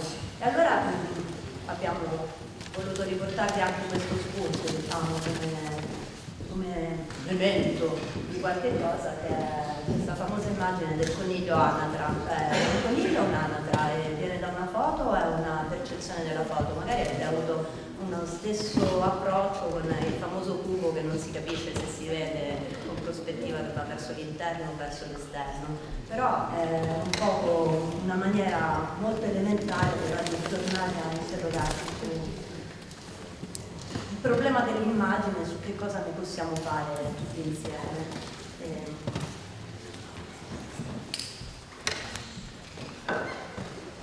come eh, avete capito abbiamo pensato che in un calendario come questo ricco di esterni accademici il nostro poteva, eh, voleva essere invece un intervento un po' volatile, volante, fatto di, eh, di punti e di punti di voce. Arrivo ehm, partendo da, da, da Beirut, siamo tornati anche noi a Basilico e l'idea era eh, quella di quindi sulla rappresentazione del reale su quelle che sono le possibilità della, della documentazione. L'idea che, come meglio ci ha raccontato, come diceva ampiamente Orlandi, Basilico ha attraversato nella sua esperienza e nella sua produzione. La frase la, la leggete eh, il mio lavoro è quello di fotografare la città, conosco bene la ritualità dei gesti necessari legati all'esplorazione del urbano, ma una città ferita, oltraggiata, ha bisogno di una sensibilità tutta particolare, chiedendo un'attenzione speciale di partecipazione ma anche di rispetto. Prima ci sono la commozione e il dolore per la tragedia, poi la paura e l'esitazione che precedono l'inizio della pratica rituale della fotografia che in considerazione e responsabilità. Poi qualcosa succede, forse la città ascolta, intuisce l'esitazione, subentra un silenzio meditativo, una pausa dopo la quale si può agire, osservare, prendere misure. E quello che in questo ci sembrava interessante come fotografi, come cittadini e come voce. Posso aumentare questi E come voci, come le voci, Eccoci, meglio? Scusate. Così va bene.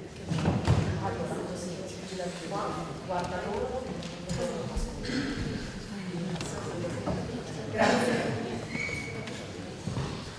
Cercherò di tenere un filo. Ehm, L'idea era quella eh, della... il microfono, devi parlare dentro il microfono altrimenti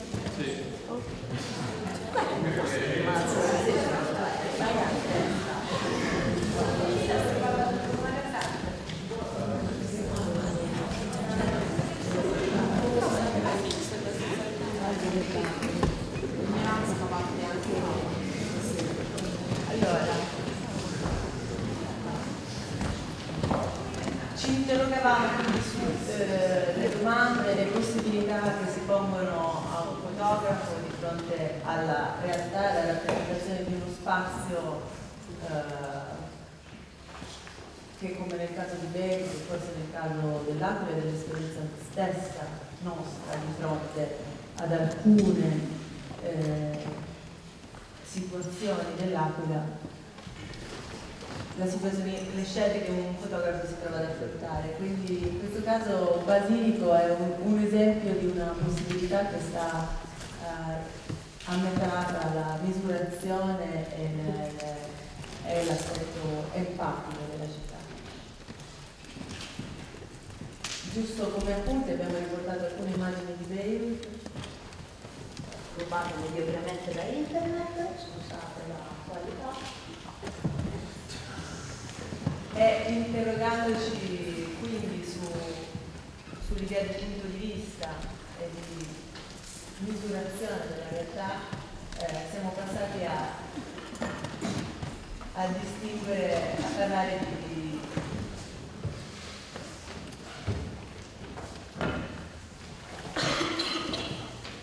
Un poco Basilico ci piaceva di più come voce, senza nulla togliere alla- al suo lavoro, che come diciamo eh, come immagini che ci ricorda. Era proprio ritornare all'esperienza, perché poi è una parola su cui siamo ritornati un po' parlando fra di noi, ecco quello che abbiamo fatto è stato confrontarci un po' con Fiore. Era il problema del paesaggio, è una parola che sentiamo in continuazione, paesaggio, e come sentiamo in continuazione punto di vista e ci chiediamo come annullare forse più che l'autorialità la questione del punto di vista o riprenderla in maniera un po' più relativizzata. E nel nostro abstract parlavamo eh, con tutta diciamo, l'umiltà, del caso, del fatto di eh, riprendere in considerazione non solo la parola paesaggio ma anche la parola territorio e anche la parola ambiente. Anche qui abbiamo riportato una parola di Guidi, siamo vittime recenti di una mostra che ha aperto a Roma e che per noi è un altro input importante che ci fa piacere portarvi qui. È una mostra che in 130 immagini, che tra l'altro sono state acquisite dall'Istituto Centrale Catalogo della Documentazione, e sicuramente un segno importante anche per quello di cui parlava sempre il dottor Orlando, cioè una documentazione del territorio che parta anche dall'interrogazione di uno sguardo che spesso è anche un po' indisponente, ma che ricorda diciamo, visione di contemporaneità, cui spesso siamo siamo portati lontani.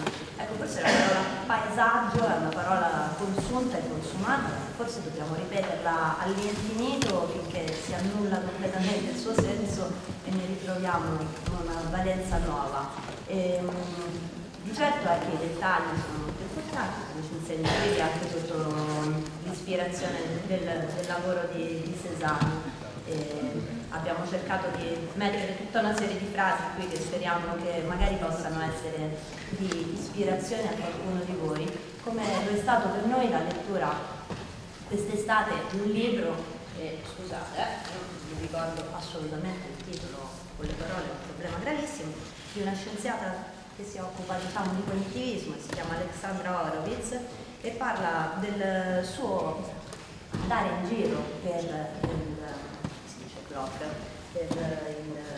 l'isolato dove abita insieme a tutta una serie di esperti. E, secondo noi è un libro interessante e stimolante perché ci ha fatto molto pensare anche a quello che andrete a fare o avete iniziato a fare qui avere a che fare con delle guide che non conoscete, ognuna con un'esperienza singolare assolutamente peculiare, per cui salto che andiamo qua, abbiamo riportato quello che tutti voi sapete, che ogni scuola di pensiero poi riconosce con una determinata definizione, ma a noi piaceva solamente l'idea di ritornare eh, su questa unione e separazione di questi, di questi termini. E, ehm, questa Alessandra Horowitz è una scrittrice molto simpatica anzitutto e se n'è andata in giro con geologi, con artisti, con bambini, con cani, ognuno di loro gli ha insegnato che la visione è qualche cosa che sicuramente può essere ampliata dal, per esempio, ritornare a una percezione del proprio corpo, oltre al fatto del soffermarsi ogni volta su dettagli diversi che poi messi insieme ci fanno apparire un nuovo mondo.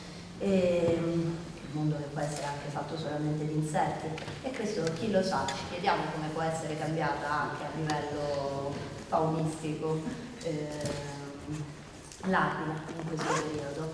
E, um, ci fa piacere con, uh, concludere questo intervento su, con una, una, frase di Robert Smithson. Ecco, la land art, magari negli anni 70, torniamo ad essere un po' nostalgici, ci ha insegnato che forse il primo esercizio che dobbiamo riniziare a fare è semplicemente camminare, camminare, camminare. E Smithson, eh, non solo lui, Richard Long, molti altri, camminando hanno eh, riaperto i paesaggi, riuso la parola paesaggio, si possono usare troppe parole, a, una, a, un nuovo tipo di esperienza, un'esperienza che ci auguriamo possiate trovare anche voi per costruire un nuovo Atlante dell'Aquila.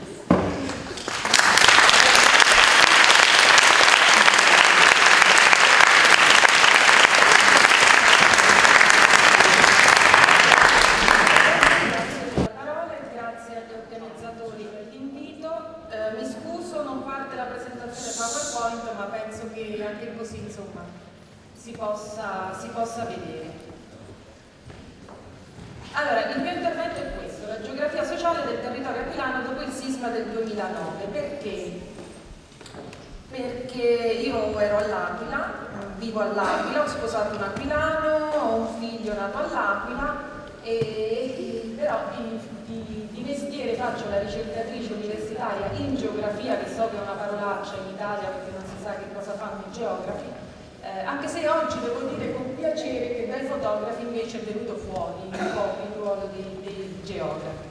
Allora, perché? Eh, perché dopo il terremoto, eh, è chiaro, la crisi è stata personale, individuale, ma la crisi è stata anche professionale. Eh, il terremoto, tutto quello che ha seguito il terremoto, ha a che fare con il territorio, profondamente.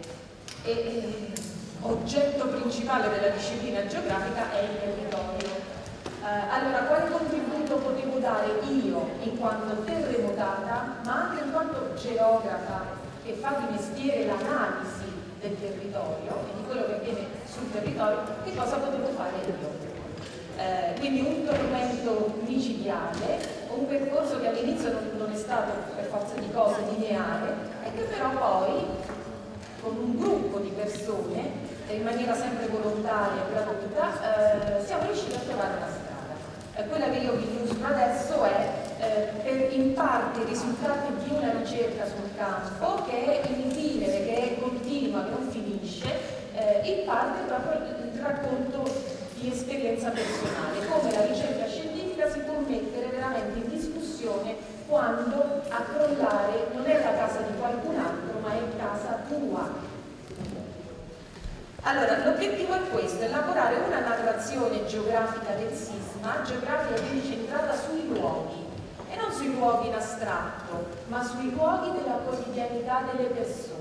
Ognuno di noi dopo il terremoto si è ritrovato con orientamenti, prospettive, punti di vista rovesciati, capovolti. Eh, io per tornare a casa dal lavoro andavo verso ovest, dopo il terremoto per tornare a casa dal lavoro andavo verso est. Avevo il sole agli occhi quando tornavo a casa la sera, al tramonto. Dopo non l'ho avuto più il sole agli occhi e questo incide molto profondamente nella coscienza. Allora tutto questo come si tira fuori? Con la lamentazio, con uh, poveri noi, o possiamo tirarlo fuori inventando una nuova storia, una nuova, un nuovo racconto di noi in questo territorio che è terremotato. Che vogliamo fare? Il punto di vista è chiaramente il punto di vista del... No, non parte la presentazione, è il punto di vista dei luoghi della quotidianità. Quindi io tutto quello che vi farò vedere, carte tematiche, grafici, eh, hanno questo obiettivo di, di dare densità e profondità al territorio, nel senso di far vedere come le persone dopo una tragedia si riorientano nei loro comportamenti, consapevolmente o inconsapevolmente. Nelle piccole cose, andare a fare la spesa, ritirare la pensione alla posta, quella che è la vita di tutti i giorni, prendere la macchina per accompagnare i figli a scuola. Eh, tralascio tutta una serie di considerazioni più, più teoriche, però ecco, le domande sono queste. L'Aquila ha subito una trasformazione, la vedremo, nella quotidianità delle persone a partire dallo stravolgimento dei luoghi delle persone. Le persone per vivere non fanno più riferimento ad un luogo che sentono coeso e compatto, con una coerenza, ma le persone per vivere ormai si distribuiscono su più luoghi. Eh, i, i, nostri armadi per dire, ve lo concretizzo al massimo, eh, io per mesi ho avuto un po' di vestiti da mia madre a Sulmona, 60 km da qui, un po' di vestiti a casa di mio suocero che intanto la casa l'avevano riparata. Un po' di vestiti, vi lascio immaginare, cioè, tu non hai più dei vestiti, è, è, è difficile, è complicato ricordare eh, di quei vestiti. Immaginate i libri, un, una tragedia per i libri, chiusi negli scatoloni, come se non li avessi. Allora, tutta una serie di domande, ci sono state delle trasformazioni e le domande sono queste. La, la trasformazione più evidente nella quotidianità è che ormai andiamo tutti in macchina e lo vedremo con dati molto precisi. Allora, quali sono le nuove pratiche improntate alla mobilità? Che non è solo il fatto della macchina, è che tu sai che starai in un posto per sei mesi, un anno, due anni, poi dove vai? Poi dove ti sposti? Te la rifanno la casa, non te la rifanno. E, e, e, quindi la mobilità in senso generale. Questa mobilità, temporaneità, provvisorietà possono costituire dei nuovi fondamenti per una, un nuovo rapporto abitante-territorio? E che tipo di rapporto si istituisce su queste nuove pratiche che si sono instaurate all'Aquila a seguito del sisma e di alcune scelte chiaramente emergenziali? Come considerazioni finali, così ve le do e poi facciamo questa carrellata di carte, eh, bisogna imparare a fare cultura eh, quella che passa attraverso il comportamento delle persone. Bisogna riorientare i comportamenti delle persone. Se non si arriva al, al, al nocciolo della questione, cioè come mi comporto io quotidianamente, è difficile che nasca una cultura della prevenzione, una cultura della solidarietà, una cultura dei disastri, della catastrofe, per non rimparare ogni volta ricominciare da capo, le cose che si dicevano. Bisogna rimparare a fare la storia, a raccontare storie. Le cose non accadono perché qualcuno ce le fa accadere. O noi siamo protagonisti e allora poi possiamo dire ah, ho sbagliato. Oppure se non siamo protagonisti, eh, quello che ci succede addosso è inutile poi lamentarci. Bisogna rimparare a immaginarci e organizzarci come comunità. Tutti i dati che vedrete, e questo è un punto a cui io tengo molto, tutti i dati che vedrete sono dati di terreno, eh, sono questionari, interviste, colloqui, eh, momenti di ascolto, faccia a faccia, non un questionario è stato riempito online, non un questionario è stato mandato via posta, questo perché? Perché se nel questionario voi trovate una risposta non data, appare nella tortina il 10% non risponde. Però se tu il questionario lo stai somministrando faccia a faccia e a quella, a quella domanda non c'è risposta ma perché la vecchietta quando tu gli chiedi, quando pensi di rientrare a casa tua, piange, il dato è ben diverso da non risponde. Perché non risponde? Quindi hai un valore aggiunto nel fare un questionario faccia a faccia, uno per uno. E questi dati sono stati raccolti dal 2010 in diverse iniziative, una questa più da cittadini che avevano voglia di fare qualcosa, abbiamo girato nove progetti case eh, e incontrato le persone faccia a faccia per riempire questi questionari e queste interviste che poi è diventato un evento pubblico, abbiamo restituito questi dati, non sono diventati un articolo scientifico da spendersi in qualche convegno internazionale, anche questo, però come prima restituzione è stata una restituzione alla città. E poi tutta una serie di iniziative con un, un protocollo d'intesa con il Comune dell'Aquila e il Dipartimento di Scienze Umane di cui faccio parte, eh, tutta una serie di iniziative in occasione delle quali appunto si è continuato questo monitoraggio permanente, continuo della socialità, de, de, di come gli aquilani vivono il territorio. Bando alle chiacchiere, anche questo poi è diventato un evento, quindi noi restituiamo sempre tutto, tutto online, tutto gratuito, è tutto scaricabile, non, non c'è copyright di ricerca eh, su queste cose. Eh, ultima precisazione, il grande sforzo che cerchiamo di fare con i limiti, perché la cartografia è uno strumento per eccellenza astratto, matematico, geometrico, che deve stare a delle regole. Però lo sforzo che abbiamo cercato di dare nella rappresentazione è di dare profondità al territorio. Il territorio lo fa chi lo vive, non solo quello che ci sta, anche quello è chiaro, come dimensione materiale, ma chi lo vive, le pratiche che ci si svolgono. Eh, quindi cerchiamo di uscire dalla rappresentazione dello spazio come euclideo, come isotopo, per cui ogni punto vale come un altro. Non è vero, non è vero. Alcuni punti pesano di più in una rappresentazione di altri, pur essendo identificati da una coordinata geografica. E non è una rappresentazione astratta. Per capirci, non avrete delle rappresentazioni di questo tipo, queste sono tratte dall'Aquila 2030 Calafati Barca, eh, una rappresentazione cartografica tutta basata sulle distanze chilometriche. Eh, distanze chilometriche, che ci dice più a noi, all'Aquila, una distanza chilometrica? Ormai anche i bambini sanno che vivere a Scoppito è 15 km dal centro, poi il centro, che significa più il centro, e vivere a, prendiamo un altro di 15 km, che ne so, Viga Sant'Angelo più o meno, qua, vabbè, diciamo Ocre, 13 km, non è la stessa cosa, i chilometri sono quelli, ma provate voi a venire verso l'una e mezza da Scoppito, verso il centro, quanto tempo impiegate? Quanto tempo sprecate in macchina? Provate voi da Scoppito a... Ok, quindi non è questo tipo di rappresentazione. La geografia dell'Aquila, vediamola allora.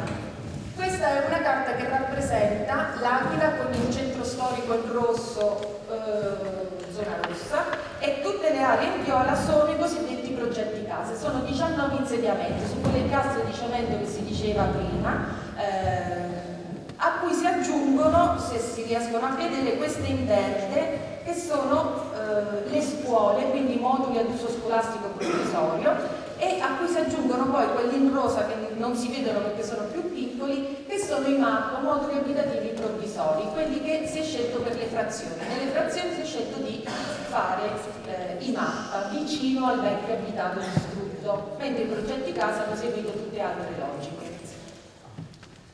Allora, che cosa è successo? Questa è una rappresentazione proporzionale, eh? i cerchi sono proporzionali. Con la costruzione dei progetti case è successo questo. Dal centro storico sono stati sparpagliati un po' ovunque nei progetti case gli abitanti, dal primo cerchio periferico, diciamo quello che si è costituito dagli anni 50, 60, 70 intorno all'Aquila, sparpagliati dappertutto e dalla periferia, diciamo più che altro Pettino, eh, che ha subito più danni, pur essendo un quartiere di recente urbanizzazione, eh, anche questi sparpagliati un po' ovunque. Che cosa ha significato questo? Allora, significato uno stravolgimento in termini di mobilità. Tutti quelli che prima avevano una vita di quartiere, per cui si spostavano, andavano dal panettiere a piedi, andavano a scuola a piedi, andavano all'ufficio postale a piedi, di colpo, se non hanno la macchina, non possono più spostarsi. Quindi mi spiace, non si vedono, come ve li faccio vedere? Vabbè, eh, era molto impressionante, voi vedete tutte queste colonnine prima del terremoto in cui la mobilità si distribuiva tra autobus, macchina, a piedi e poi la mobilità dopo il sisma che diventa completamente tutta gialla, tutta in macchina. Impossibile andare dovunque sia senza la macchina. Stessa cosa i tempi. Allora qua si dice, vabbè, adesso prima quanto impiegavi per andare a scuola? 5 minuti, adesso impieghi mezz'ora. Uno di Roma ti direbbe che te sta lamentato in mezz'ora, ma figurati. Eh no, il punto è che tu prima ci andavi in 5 minuti a piedi magari, adesso ci vai mezz'ora in macchina, tua madre ti lascia sulla strada così perché non ha modo di parcheggiare. E, e, tu perdi occasioni di socialità, questo è il punto, tu non scendi più dalla macchina, non parli più con la mamma del, del compagno di classe del tuo, eh, di tuo figlio, non scambi più, cioè non crei, eviti dei momenti di socialità. Eviti volontariamente? No, è il territorio, così come ha preso forma dopo il terremoto, porta a non, eh, a non avere più occasioni di socialità. La scuola, l'ufficio postale, eccetera. Altri comportamenti accelerati, allora dopo il sisma, eh, nell'anno e mezzo dopo il sisma eh, i centri commerciali si sono raddoppiati di numero e non lo potete vedere. Eh, che cosa è successo? Questi centri commerciali sono stati costruiti all'estremità degli assi principali viari, le statali, le due statali che abbiamo, che attraversano la città. Ed è proprio un modello tipicamente americano i centri commerciali nel, nell'estremità degli assi di percorrenza principali eh, dove va a confluire eh, il commercio. Eh, che è successo? È successo che dopo il sisma, prima del sisma un 10% andava a fare la spesa al centro commerciale, dopo il sisma il 28%, obbligatoriamente. Prima del sisma un 30% andava a fare la spesa a Piazza Duomo, quindi ancora un momento di socialità, il solito tuo banca, la tua solita bancarella, eh, il tuo commerciante che magari ti mette da parte le uova fresche, eccetera, eccetera. Tutto questo si spersonalizza. Il tempo libero, neanche qua si vede, è impressionante, eh, è impressionante vedere come dopo il sisma soprattutto gli adulti, il 54% degli adulti rimane a casa, passa il tuo tempo libero? A casa, il 54%. E sappiamo benissimo che probabilmente a casa non si passa a leggere il libro, ma si passa davanti alla televisione. C'è un episodio carino di una vecchietta nei progetti Casa di Roio che ci ha detto ah ma voi siete, siete i nostri comandanti, scambiandoci per l'amministrazione, eh, dovete segnalare a qualcuno che me si vede solo Rete 4 al televisore che ci ha dato Berlusconi.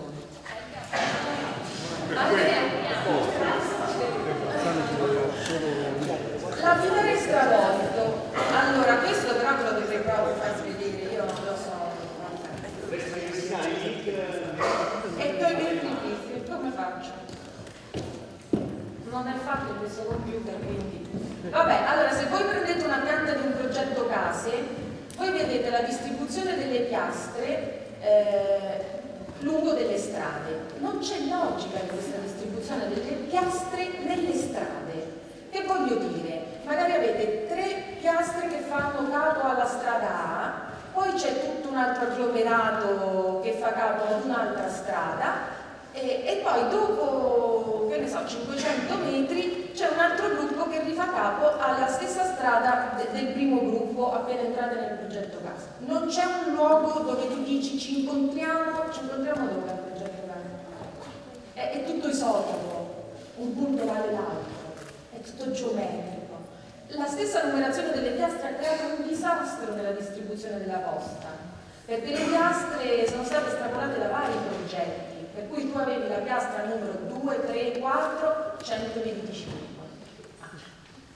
A questo si è, aggiunto il numero civico. Cioè, e voi capite che lo stravolgimento quotidiano è forte e non può non incidere sulle coscienze, perché il discorso è tutto qua, è di ingiustizia spaziale ed è, eh vabbè io che vi devo fare, ed è di comportamento democratico, qui mi fermo.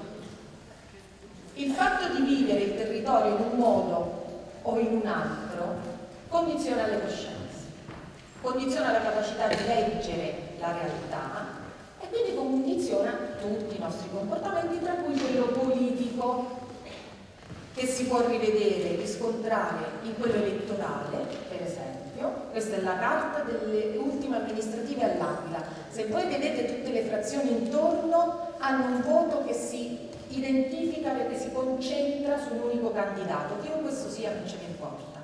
Se voi vedete Pettino e vedete Paganica, lì dove i processi di urbanizzazione prima del terremoto, questo è un altro punto, i problemi non nascono col terremoto ma il terremoto accelera dinamiche già in atto. Se voi vedete Pettino e Paganica è la classica opposizione manichea bene male, Berlusconi contro Berlusconi, eh, berlusconiani non berlusconiani, che non ti dà possibilità di capire quelli che sono i tuoi veri bisogni. Mi fermo con questo dato. Eh, nelle varie attività di monitoraggio delle di quello che pensano le persone all'Aquila, abbiamo chiesto, hai mai pensato di trasferirti in un'altra città? Gli adulti dicono di no, il, 28, il 72%, i giovani dicono di sì, il 46%. Quel che è strano però è che gli adulti Dicono che fa tutto schifo, ecco qua, le colonnine rosse sono le più alte, dal punto di vista urbanistico, politico, economico, sociale, fa tutto schifo, però rimangono. I giovani hanno una visione più realistica, perché non è che fa tutto schifo, tranne ecco, l'aspetto politico-amministrativo, i giovani, eccolo qua, però loro vogliono andare via. In ogni caso, giovani adulti, quando gli si chiede come sarà l'Aquila fra vent'anni, diteci tre aggettivi per immaginare l'Aquila fra vent'anni, il dato preponderante sia negli adulti che nei giovani è che non si riesce ad immaginare, e lo vedete qui, le tortine grigie e le tortine violetto. Eh, alcuni proprio non rispondono, non mettono i tre aggettivi fra vent'anni, e, e altri dicono sarà peggio, sarà, eh, quindi non c'è futuro. Un territorio che non ti fa sognare, non ti fa sperare, è un territorio già morto.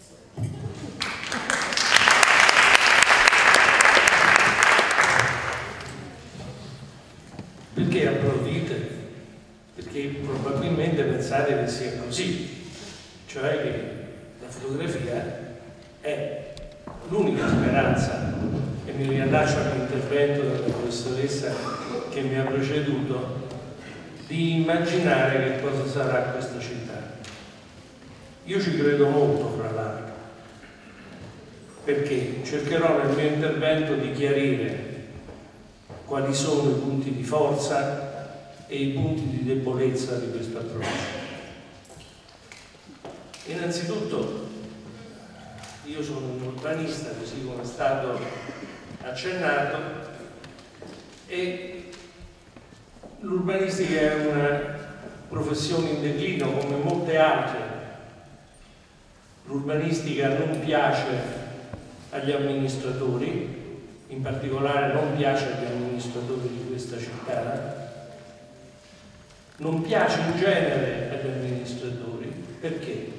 Perché è una disciplina che poi si traduce in elementi prescrittivi, regolativi, definitori.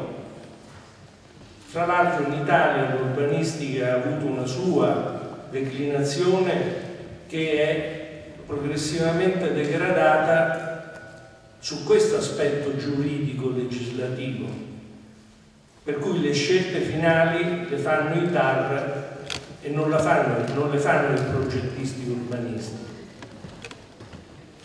Allora, perché questa speranza nel nella fotografia come progetto? Prima cosa perché ha illustri precedenti. Quando iniziò la ricostruzione, quella post-bellica, il piano territoriale per l'Abruzzo, che veniva redatto da personaggi illustri, Leonardo Benevolo fra questi, Michele Valori, Federico Gorio, aveva un allegato di fotografie bellissime fatte da Leonardo Benevolo. Anche lì si trattava di documentare, documentare un Abruzzo eh, più di tipo antropologico che di tipo progettuale, ma questo aspetto della documentazione anch'esso manca in tutta questa vicenda. Il PRG dell'Aquila il documento sul PRG dell'Aquila, quello per il pubblico, quello per diffusione, è corredato da fotografie. E così ci sono importanti raccolte di foto di storia urbana, quella di Stocker che voi avete anche chiamato in uno dei workshop, ma così anche quella, l'Aquila dell'Ottocento e Novecento che abbiamo fatto insieme a Cola Pietra, raccolte di documentazione fotografica fatte con un'interazione con i cittadini, perlomeno la seconda, la prima ha attinto abbondantemente nei resti dell'archivio comunale, dopo di ciò ulteriormente disperso, fanno parte di quelle storie di cancellazione della memoria tipiche del nostro paese. Non esiste una documentazione istituzionale fotografica. Oggi ci troviamo di fronte a problemi, falsi problemi, come quello eh, della riapertura di una porta della cinta medievale. Non si ha nessuna fotografia documentale di quando quella porta è stata interrata noi stiamo vivendo con il terremoto una fase convulsa di demolizioni non previste eh, ma abbandonate all'iniziativa degli amministratori dei condomini e eh, della, eh, diciamo, dell'interesse dei privati che preferiscono demolire perché così possono vendere la loro casa e andarsene da un'altra parte. Questa è la ricostruzione dell'Aquila, senza piani e senza un governo. Questa è una responsabilità notevolissima e le cose non miglioreranno sicuramente. Cosa serve? E perché io ritengo che questa attività sia importantissima per la ricostruzione della città? Serve una capacità di trasfigurazione del reale, quell'incapacità di immaginare il proprio futuro può trovare degli appigli formidabili nella capacità dei fotografi di trasfigurare la realtà, di conferire senso alla realtà. Voi percorrerete il territorio intorno alla città che ha perso completamente di senso.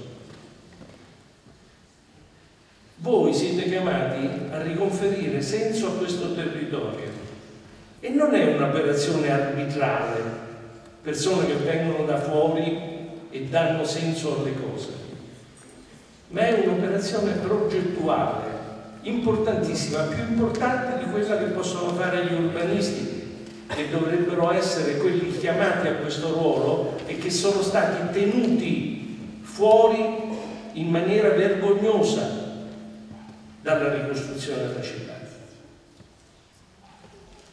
Io sono dirigente dell'Istituto Nazionale di Urbanistica, sono stato vicepresidente, segretario generale, quindi quando c'è stato il terremoto ho cercato di coinvolgere gli urbanisti italiani e con essi eh, l'Associazione Nazionale dei Centri Storici che hanno fondato INU ed ANSA un laboratorio, Laura, che ha lavorato moltissimo. Il libro bianco che avete nel link di Confotografia è parte del notevolissimo lavoro prodotto. L'amministrazione comunale, il commissario, il direttore del, della struttura eh, che si è occupata della ricostruzione hanno ignorato sistematicamente tutto ciò. Io non faccio una rivendicazione sindacale, perché vi ho detto che ritengo la disciplina abbastanza impreparata rispetto a questo problema. Però si è preferito procedere senza piani, senza idee, caso per caso, discutendo ogni volta se porta parete va riaperta o no. E se invece di porta parete magari ci facciamo anche qualche altra cosetta insieme. Trasfigurazione, conferimento di senso, ma stratificazione.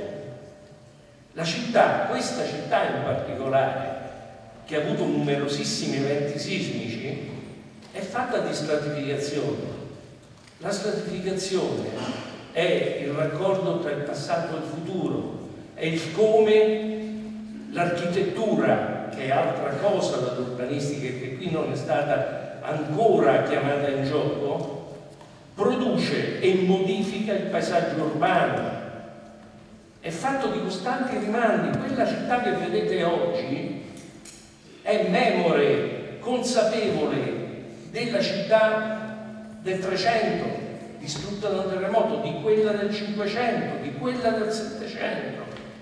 Ci sono cose che sono così perché sono sopravvissute e ricordano quello che c'era su quella piazza.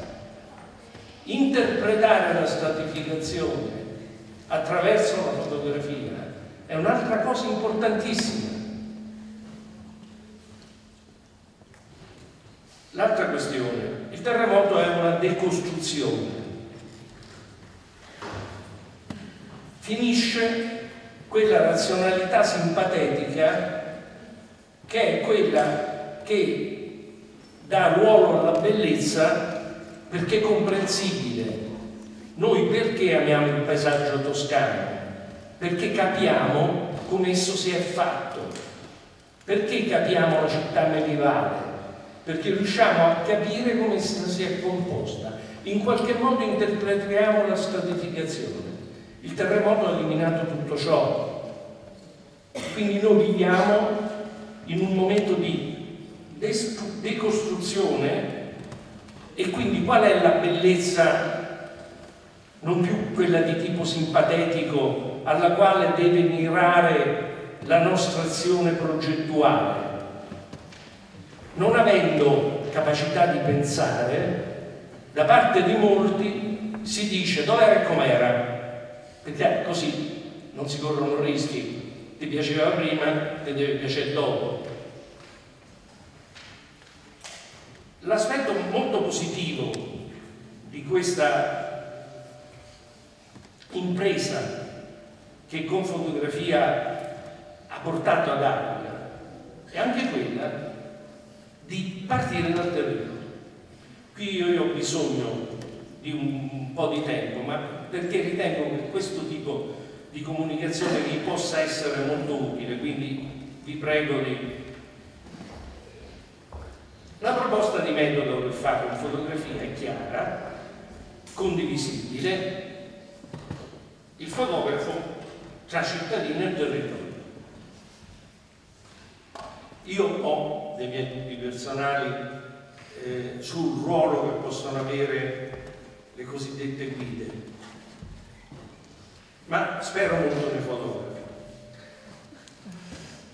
Partiamo da una delle decostruzioni principali che è avvenuta, ma non solo colpa, per colpa del terremoto, e sono le numerose storie interrotte del paesaggio. Tra queste, questo non è avvenuto soltanto nel centro, ma è avvenuto soprattutto nel territorio. In termini estremamente sintetici, il, le storie del territorio partono dai fenomeni di accentramento e di incastellamento tra il 1100 e il 1300. Questo primo accentramento subisce con la fondazione della città un ulteriore accentramento sottolineato dall'infeudazione dei centri minori dopo il 1529. A mio avviso si tratta di ripartire da lì.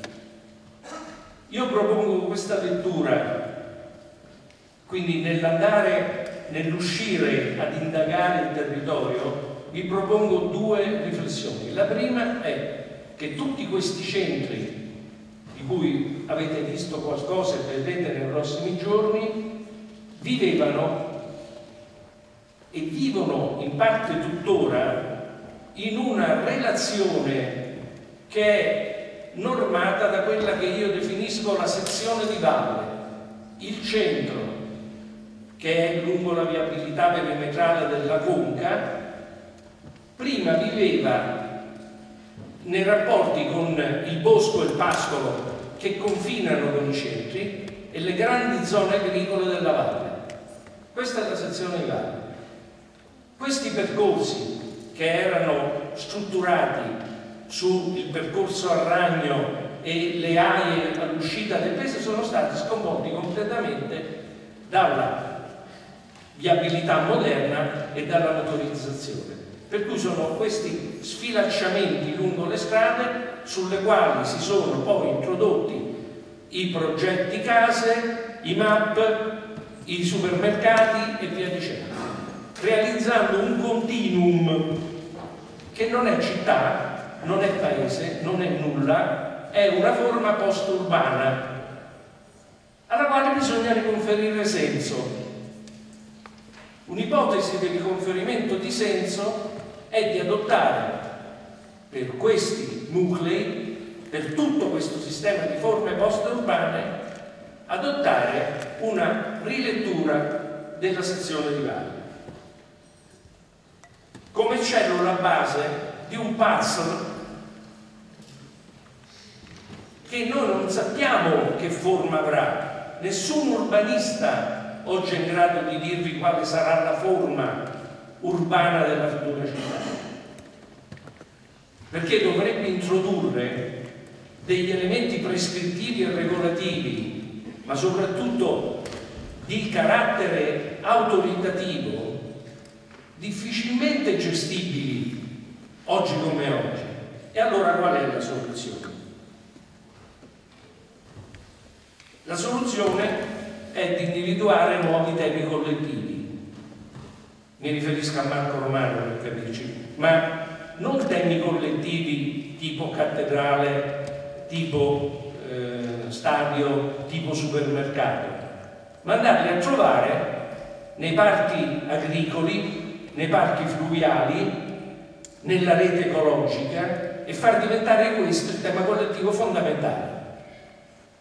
In una rilettura della grande armatura urbana possibilmente poco inquinante, eliminando il traffico automobilistico e affidandolo alla struttura esistente del tram ferrovia. Consiglio, e con questo concludo, consiglio su come approcciare il territorio. Da un punto di vista disciplinare, le analisi eh, più importanti sull'approccio al territorio sono quelle di Muratori, Canigia, Maffei, che dicono una cosa elementare. I percorsi di scoperta, di esplorazione di un territorio sono sempre percorsi di crinale. Quando il territorio è conquistato e pacificato, ci sono i percorsi di pianura. Nella fase intermedia, i percorsi di mezza costa. Questa è una modalità che vi consiglierei. I percorsi di crinale vi riescono a far capire molto di come è strutturato il territorio e di come siete costruito. La seconda questione, sempre di questo libro, cercate di capire su che percorso state, se è un percorso di attraversamento, se è un percorso di penetrazione, se è un percorso circolatore o un distributore locale. Capisco di aver introdotto elementi tecnici, ma sono cose abbastanza semplici, c'è una gradualità nei percorsi. Perché i viali di accesso alla città sono alberati, perché sono i percorsi di penetrazione. Chiunque di noi entra a Parigi e circola a Parigi lungo i viali alberati.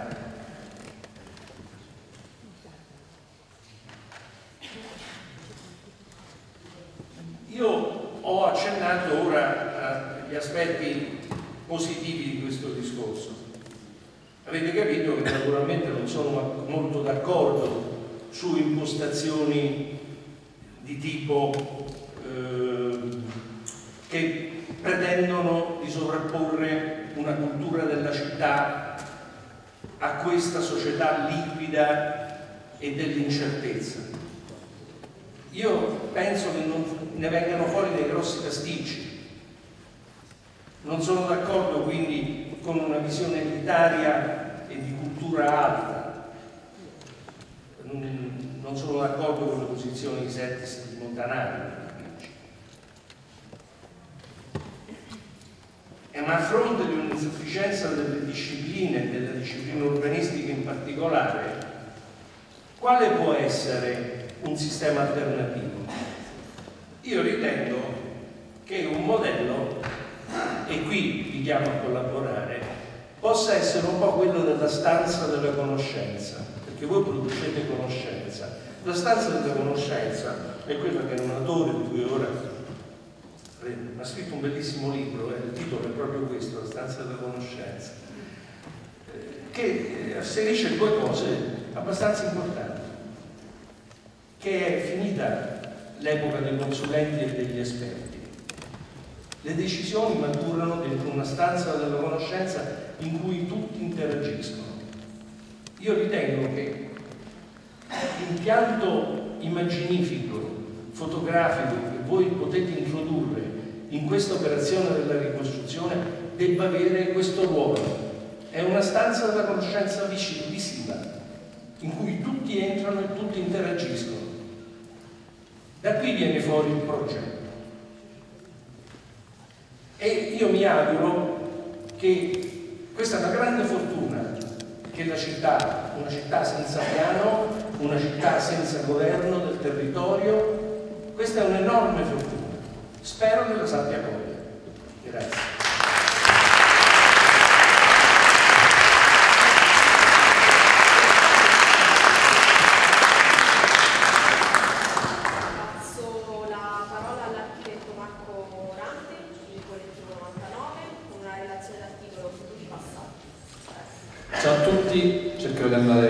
velocemente. Ehm, prima un, un, brevissimo aiuto alla lettura. Non, non, ho slide, non perché non ne abbiamo. Eh, peraltro noi ci siamo serviti fin da subito come collettivo 99 di serviti, tra virgolette, di quello che ricordiamo un bravissimo fotografo che è Antonio Dicepo, che fa parte del collettivo Antonio, che è documentazione di questa. E quindi consideriamo la fotografia fondamentale. Crediamo però che in questo, in questo caso ho ritenuto io di portare questa, questa comunicazione potesse essere il caso non condizionare con il vostro linguaggio quella che è la comunicazione, ma aspettare, attendere da voi quello che è un risultato, un ulteriore risultato rispetto a quello eh, sulla base del quale abbiamo già lavorato. Eh, nella consapevolezza, e purché ci sia la condivisione, eh, che sia la nostra di eh, ragionatori diciamo, di scienze urbane, che la vostra di produttori di conoscenza, eh, svolgiamo un'attività militante e di utilità sociale eh, spesso reciproca, ma molto spesso che vanno una direzione, cioè voi producete delle, delle, delle informazioni che poi noi dovremo utilizzare. So che su questa cosa qui non tutti sono d'accordo, ci siamo anche confrontati duramente con la questa, però questo qui è il mio punto di vista. Io ho sete di informazioni per poter prendere delle decisioni quando vengo chiamato a prendere queste decisioni. E, ehm, e quindi mi limiterò eh, non vi dirò qual è la mia soluzione, io ho una soluzione al, al grande problema dell'Aquila, probabilmente l'ha il professor Proverzi, eccetera, non vi parlerò di quella, è una, una soluzione sulla, basata sul paradigma reticolare che a voi eh, non, non, condizionerebbe il vostro ragionamento. Eh, mi limiterò a illustrarvi dove eravamo, dove siamo, sempre secondo il nostro punto di vista, ecco appunto la, la, la capacità di interpretare, possiamo ovviamente sbagliare, eh, dove, dove, andiamo, dove vorremmo andare e quanto abbiamo bisogno della fotografia e quindi proverò a dirvi anche dove andare a cercare. Eh, vabbè, noi, qualcuno di, noi, di voi ci conosce, avrà visto il link del, del sito, eh, siamo stati come molti altri, ma dal punto di vista diciamo, dei tecnici, rompiscatole al, a chi, eh, per usare un termine antipatico utilizzato in questi giorni, ha inteso, e noi sapevamo che avrebbe inteso asfaltarci eh, e ci hanno asfaltato eh, in tutti i sensi. Eh, però ci siamo spostati un attimo prima che il volo arrivasse, quantomeno siamo dei reduci che possono in qualche modo, o come diceva prima, eh, immagina incerti quanto siamo incazzati noi, no?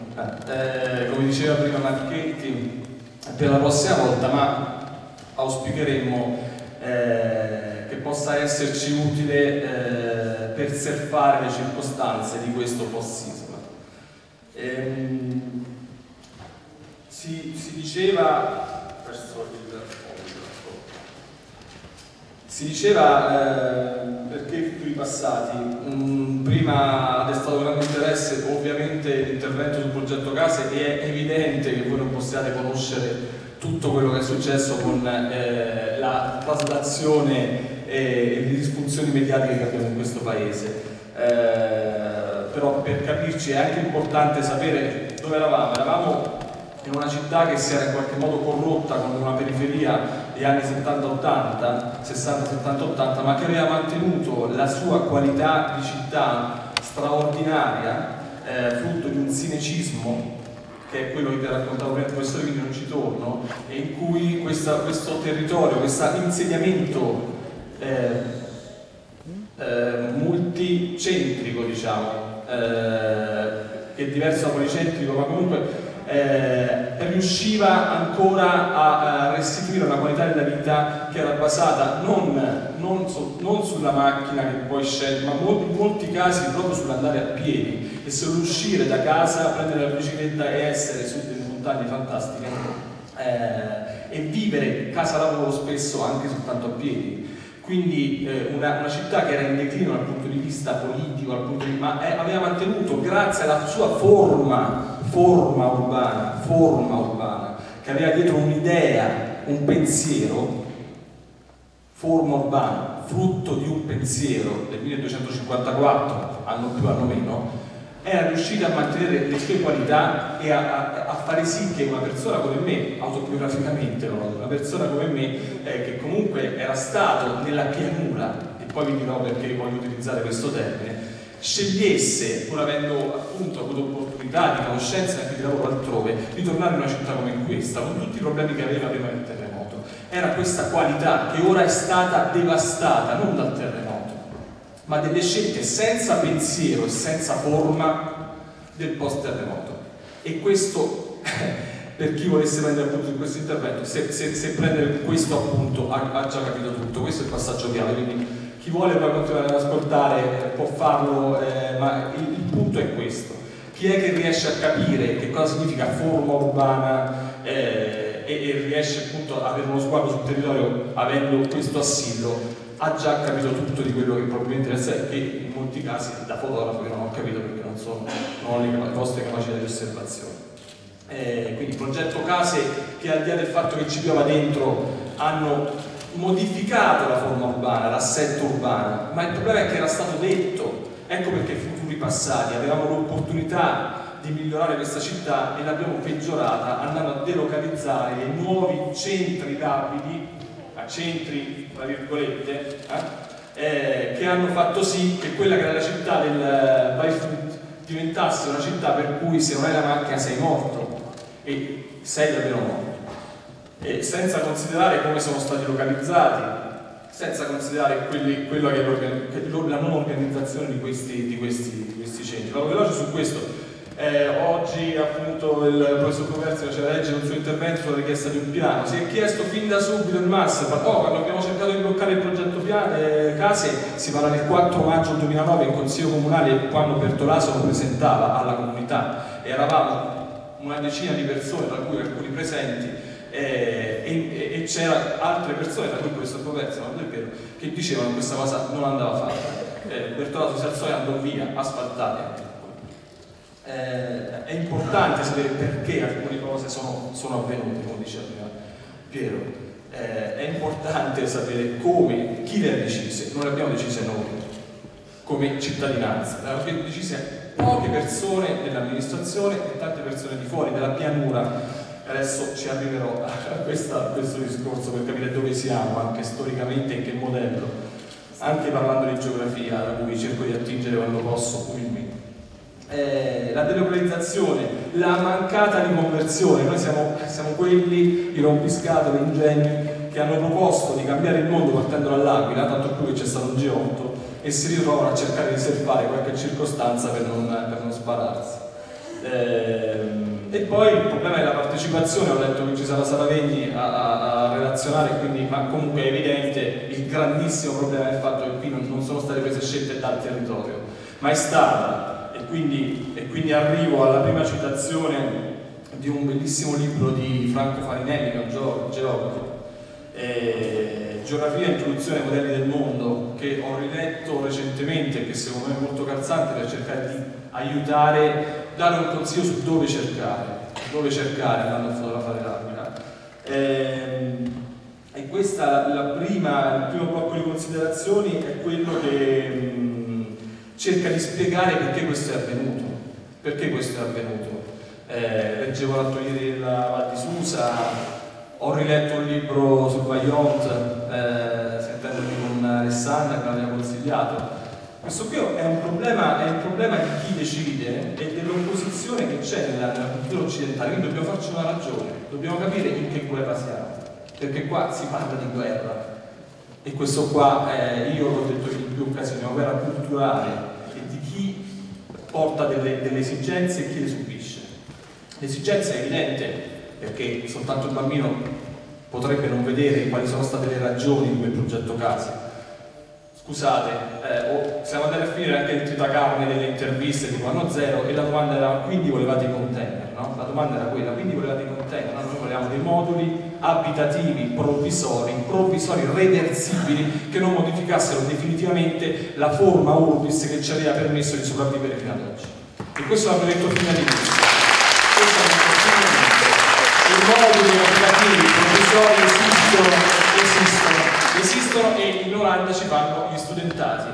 Quindi esistono, esistono.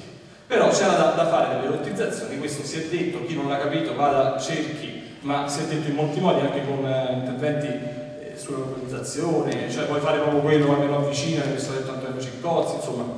Però eh, la, la, la, cultura occidentale ha fatto sì che ci fosse una, una, uno scontro, vediamo, eh, uno scontro tra, eh, tra ehm, pianura e montagna. E I romani, tant'è che i romani avevano l'Ager e il, il Saltus, i greci avevano l'Oros che definiva montagna e limite. E questa è una condizione fondamentale da capire per chi vive qui e per chi ha sempre in qualche modo subito, tranne rare occasioni, tant'è che, tant'è che eh, ha sempre subito il predominio della pianura la montagna, tranne che con la transumanza orizzontale in cui l'Aquila è stata regina. Quindi che succede? C'è una serie di considerazioni di geografia generale che si applicano perfettamente all'Aquila e eh, è bene capire questa perché la, la, la situazione dell'Aquila per voi che, che, che, venite da fuori insomma per cercare di leggere è la stessa situazione che si vive oggi in Val di Susa e che si è vissuta in Vajont. Nasce da quelle, da quelle scelte da quel modello da quel modello di concezione del mondo in cui la pianura va a decidere salvo rare occasioni come diceva la transumanza va a decidere le sorti della montagna per, per esigenze proprie secondo me questo qua è importante capirlo per capire dove si è e contro chi e da parte di chi. E questo secondo me è fondamentale. Perché è un con fotografia, ma per alcuni aspetti dovrebbe essere anche una controfotografia.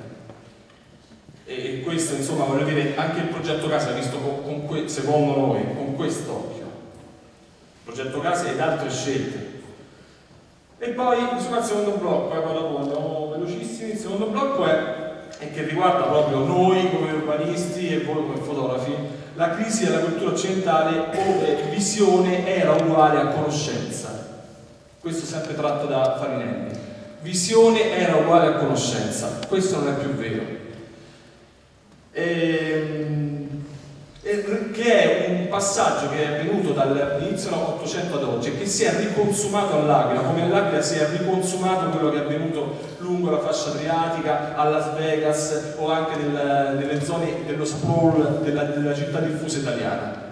All'Aquila che, che era, era, rimasta immune da questo processo, si è riconsumato in questi, in questi 3-4 anni. L'Aquila non era una città continua. E quindi tre punti in questo blocco, tre punti. Tra il funzionamento del mondo e quel che è visibile vi è sufficiente corrispondenza. Questo avveniva all'epoca della prima, della prima, fino e anche all'epoca della prima eh, rivoluzione industriale. Eh, Farinelli lo ricollega a Humboldt, il periodo di Humboldt, eh, del, del, geografo viaggiatore, eccetera. L'osservatore della prima no, rivoluzione industriale nota, vedendo delle cose di anno in anno, cioè osservando la stessa, la stessa, lo stesso fotogramma, una crescita continua, quindi secondo le categorie no, euclidee, continua, omogenea, isotropa, e questo secondo noi, secondo me, questa cosa, secondo me, questo era vero, era vero all'Aquila prima del, del sisma per una parte della sua città, il centro storico e le immediate vicinanze erano ancora visibili con questa, con questa eh, corrispondenza diretta tra il visibile e il funzionamento del mondo. Perché il funzionamento del mondo era legato allo spostamento fisico, semplicemente. Non era una questione legata a eh, decisioni di, altro, di, altra natura, che, dove la localizzazione è, è legata a, a, come vedremo nella seconda fase, a so, la, la, la, la, linea, elettrica che poteva andare anche molto lontano, oppure decisioni di carattere eh, cibernetico o, di queste altre considerazioni. Era fisico, la fisicità quindi io vedo un'immagine e riesco a capirne tutte le conseguenze e le connessioni. Tra il vado al secondo punto, tra il e il secondo scatto, tra il funzionamento del mondo e quel che è visibile si perde ogni plausibile sistematica corrispondenza e questa è la visione che si ha dall'inizio Novecento, con seconda rivoluzione industriale, eh, dove vicinanza o lontananza tra le cose non significa più nulla cioè c'è una questione legata fortemente a altre tecnologie che sono ad esempio l'elettrificazione e cose di questo genere. E a parte, di prima, parte di prima del sisma, come le, le periferie, quasi finito, eh, erano in qualche modo riconducibili a questo, non eravamo ancora arrivati a una città eh, diffusa. Si arriva al terzo punto, che in altre città, eh, come dire, eh, era, si era già verificato che all'Aquila si è verificato con il, con il post-sisma, non con il sisma, con le scelte del post-sisma. Il dominio della visione non restituisce quasi più nulla circa i meccanismi di riproduzione del mondo stesso. Un osservatore contemporaneo non può eh, riferirsi quasi a nessun indizio, a nessuna traccia materiale per giudicare l'interdipendenza tra le cose. E questa è la città contemporanea che che è la realtà di molti luoghi da cui voi venite probabilmente, eh, ripeto, penso alla fascia dell'Adria, penso alla città diffusa che è quasi ovunque ormai, ma che all'Aquila non c'era e che si è prodotta con il sisma. E allora eh, all'Aquila adesso è fuori zona rosso tutto, tutto, il territorio ormai più o meno rientra in questa, in questa accezione, in questa situazione. Eh, e quindi il consiglio, il consiglio eh, è che ciò è stato prodotto, quest'ultima fase, da una miniaturizzazione delle cause eh, e anche da una, dal fatto che queste cause siano proprio enormemente altrove, ma non alla distanza ma alla distanza proprio eh, delle decisioni che avvengono secondo altri parametri eh, e, e, miniaturizzazione legata alla cibernetica alla, alla, alla, e alle, alle, tecnologie che ben, ben conosciamo. Eh, e allora l'invito che faccio con una provocazione è um, un invito ad osservare la, la, la, miniaturizzazione delle cose e, e, quindi mi ricollego a quello che si vedeva prima di Guidi, no? a me quella foto non dà fastidio, eh, perché ho, almeno ho, non, non, ho capito, perché ho cercato per capire questo territorio, per capire i territori come questo, di andare a cercare nelle piccole cose per poi, per poi dopo, soltanto dopo, dopo tanti piccoli sguardi di dettaglio, eh, provare eh, umilmente a ricostruire un senso generale, ma non credo assolutamente, in questo non sono d'accordo con Piero, che andando sul crinale si possa riuscire a capire questo territorio.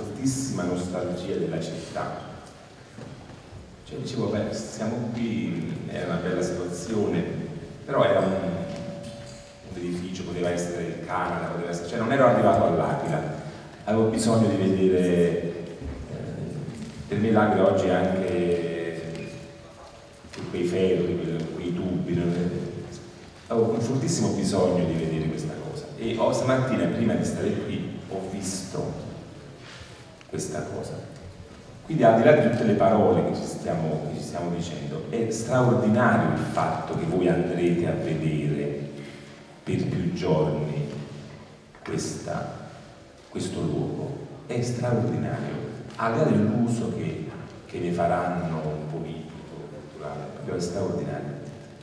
Quindi complimenti anche a voi. È straordinario per la vostra vita, prima ancora che per quello che accadrà all'Aquila che poi a un certo punto a voi potrebbe anche non interessare, siamo, non è solo l'Aquila al mondo. L'Aquila in questo momento, secondo me, parlo delle mie sensazioni, è il luogo più interessante che c'è nel mondo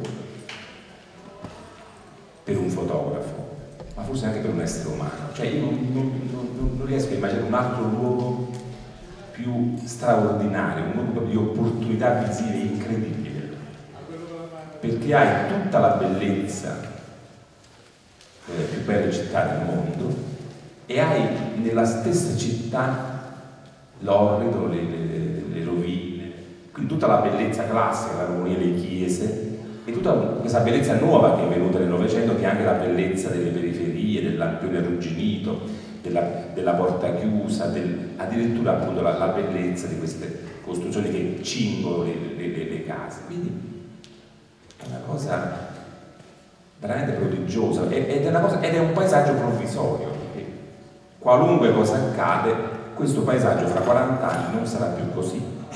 Cioè, è un paesaggio in, in trasformazione, in un mondo che si dice sempre in trasformazione, questa è una città veramente in, in trasformazione. Io sono stato qui l'anno scorso, ho visto un'altra cosa, se verrò fra un anno vedrò un altro paesaggio e quindi l'idea, ne abbiamo parlato poco oggi, l'idea di portare i fotografi che portano uno sguardo da lontano, lo sguardo della distanza, farli accompagnare da persone che hanno l'infiammazione della residenza, cioè persone che vivono ogni giorno all'Aquila. Questa è una cosa fondamentale, non per la fotografia, per la politica, per fare buone politiche su un territorio, secondo me, ci vuole questo doppio sguardo di intimità e di distanza. Detto altrimenti, eh, non, la, la ricostruzione non la può fare il sindaco, quindi chi ha l'infiammazione della residenza, non la può fare il burocrate a Roma, cioè chi ha solamente la distanza, ma si fa appunto incrociando questi due, questi due sguardi.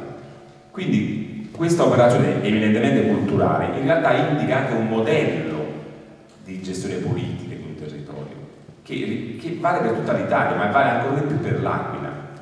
Quindi io sono proprio ah, se, se, avessi, se, se, avessi saputo mi sarei, che faccio anche, mi sarei proposto come fotografo pure io, venuto, no perché mi sembra proprio cruciale questa cosa, non, non solo per l'acqua, ma cioè, dovunque dovremmo andare nei posti, qualcuno da fuori qualcuno che sta lì e, guard e guardare, poi io sostengo che oggi uno dei problemi dell'Italia è che c'è il primato dell'opinione sul primato della percezione.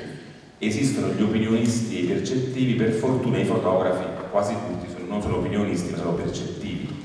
Quindi è uno straordinario esercizio di percezione che andrete a fare in questi giorni, che probabilmente sarà ignorato no, dagli opinionisti che governano a livello locale a livello nazionale, però io mi auguro che, che, che, che questo lavoro venga considerato, perché noi facciamo brutte leggi, facciamo brutte trasformazioni perché non guardiamo, non abbiamo guardato che cosa, e diciamo delle cose, ah l'Aquila è così, andiamola a vedere. Ed era così ieri mattina, già stamattina sei un'altra cosa. Quindi andiamola, andiamola, a vedere, questa è la cosa. E poi un'altra faccenda su cui eh, la città morta, stiamo, stiamo attenti. L'Aquila è una delle città più vive del mondo in questo momento. Noi diciamo morta un luogo quando se ne vanno gli uomini. Perché abbiamo questa visione appunto in cui l'uomo è il centro L'uomo è una... In questo momento non so se sono arrivate le faine, al mio paese quando nel centro storico arrivarono le faine dopo il terremoto, perché appunto abitarono le, le soffitte, cioè, sono, sono tornati gli uomini e le faine sono scomparse. Quando ci fu la grande nevicata due anni fa, tutti si preoccupavano, dice, ah ma io non posso uscire con la, con la macchina dal, dal garage per andare a prendere a 50 metri le sigarette. E nessuno si preoccupava, per esempio, delle volpi, che sotto questa grande nevicata non si capiva bene, infatti sono quasi tutte morte perché non sapevano che fare.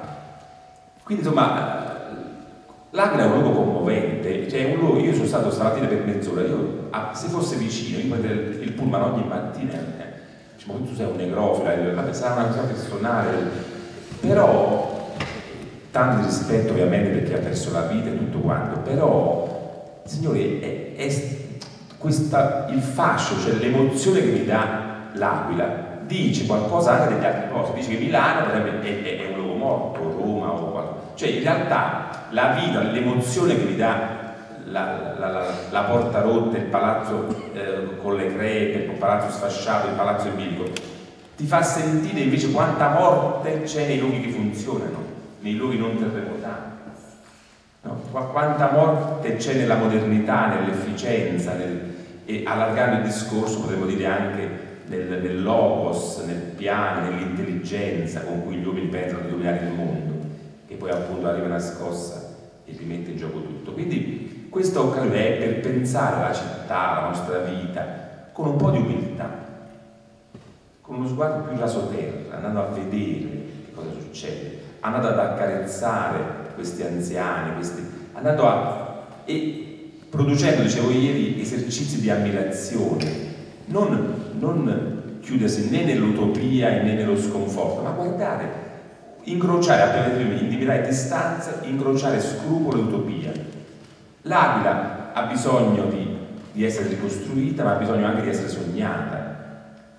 Ci sono le esigenze della persona che, terremotata che vuole un tetto sicuro, ma c'è anche l'esigenza di avere una città appunto che sia concepita secondo per esempio che abbia, che abbia, le stalle dentro, una città che abbia le pecore dentro, cioè io, io all'Aquila eh, riporterei le pecore, le vacche, cioè la farei capitale del futuro, cioè capitale del, città di campagna, città in cui, in cui, si può bere il latte appena munto, in cui si può vedere la vacca no?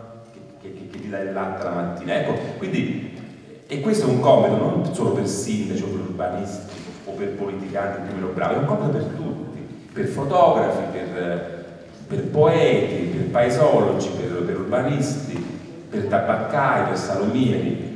È la, questione, la grande questione della democrazia locale, che è l'unica democrazia ancora forse potabile, accessibile, che si capisce che cos'è, perché la democrazia planetaria non si capisce, quella locale si capisce, cioè tu dici una cosa, io dico un'altra, tac, tac, tac, tac, alla fine eh, insomma andiamo avanti. E questo ovviamente è faticoso, dobbiamo spendere un po' di tempo l'arte o soprattutto chi sta all'Aquila, non, non, è che si può fare una città, la fa Bertolaso, la fa Bacca, la fa un altro. È una cosa faticosa fare, fare le cose, fare, come è faticoso stare al mondo.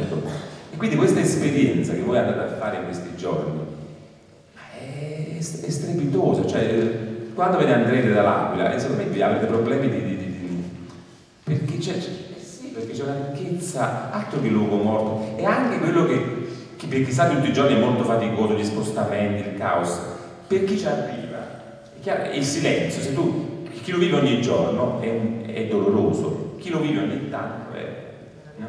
se uno va in un paese dell'Appennino abbandonato ha quel silenzio meraviglioso. Questo, questo disordine che c'è all'Aquila, è chiaro che chi conosceva la città intera, è, chiaro, è, è, è straziante questo posto adesso, però voi che portate il vostro occhio da, da fuori, siete davanti a un tesoro, a un tesoro inestimabile. E tutta l'Italia dovrebbe essere fotografata, perché tutta l'Italia non è quella che dicono a Roma, a Milano, che dicono in televisione, questo è il problema, perché l'Italia ci, ci, cambia sotto gli occhi, probabilmente siamo, siamo in un'epoca in cui la, dalla mattina alla sera le cose, pensate alla rete, se tu metti un post su Facebook alle 8 del mattino, quando lo vai a guardare la sera, alle, ammesso che riesci a guardarlo alle 8 di sera, sembra passato un secolo. E allora questa questione del tempo la vogliamo capire. Vogliamo capire che. E quindi ecco perché è straordinario, ecco la fotografia in, un tempo che non è più il tempo dello spazio, ma è, ma è il tempo della, del tempo, ma è il tempo dello spazio, ecco la geografia, l'importanza della geografia. E quindi l'importante è tutte queste discipline appunto che guardano il mondo, che, che mettono a, al centro lo sguardo, il vedere, il sentire, l'abbassarsi. Guardare i dettagli, voi avrete una marea di dettagli, dalla bottiglia d'acqua minerale, in, in, dalla carta igienica magari che c'è ancora, in, sono cose straordinarie e, e questa carta igienica tra tre anni non ci sarà più. Magari qualcuno c'ha, non so se è rimasta ancora qualche cappotto appeso da qualche parte in questo cappotto magari sarà una scatola di cerini. Eh, sono, cose, sono, cose, meravigliose e, e, e poter avere un apparecchio, macchina fotografica che, che, cattura queste cose che fra una settimana quel palazzo sarà demolito, quella crepa sarà chiusa e voi avete questa è una sorta di arca di Noè che voi potete, portare, potete portarci, potete salvare un luogo che comunque si, tra, si, si, sta trasformando, quindi è un compito e spero che ci sarà una, un oggetto fisico, un sito, un libro che raccoglierà questa, questa, questa esperienza. Anzi, vorrei fare una proposta cioè, all'assessore. Sarebbe bello che l'Aquila ci fosse un pezzo esattamente uguale a quello che era, era la sera prima del terremoto. Sarebbe bello che ci fosse un pezzo in cui quello che c'è adesso rimanesse così, con le una strada puntellata, lasciarla così, per dire questo, è stato un veneto che l'anima è stata così, è stata così. Eh? Ma non per, non per sé, non per, per sé, per, non per...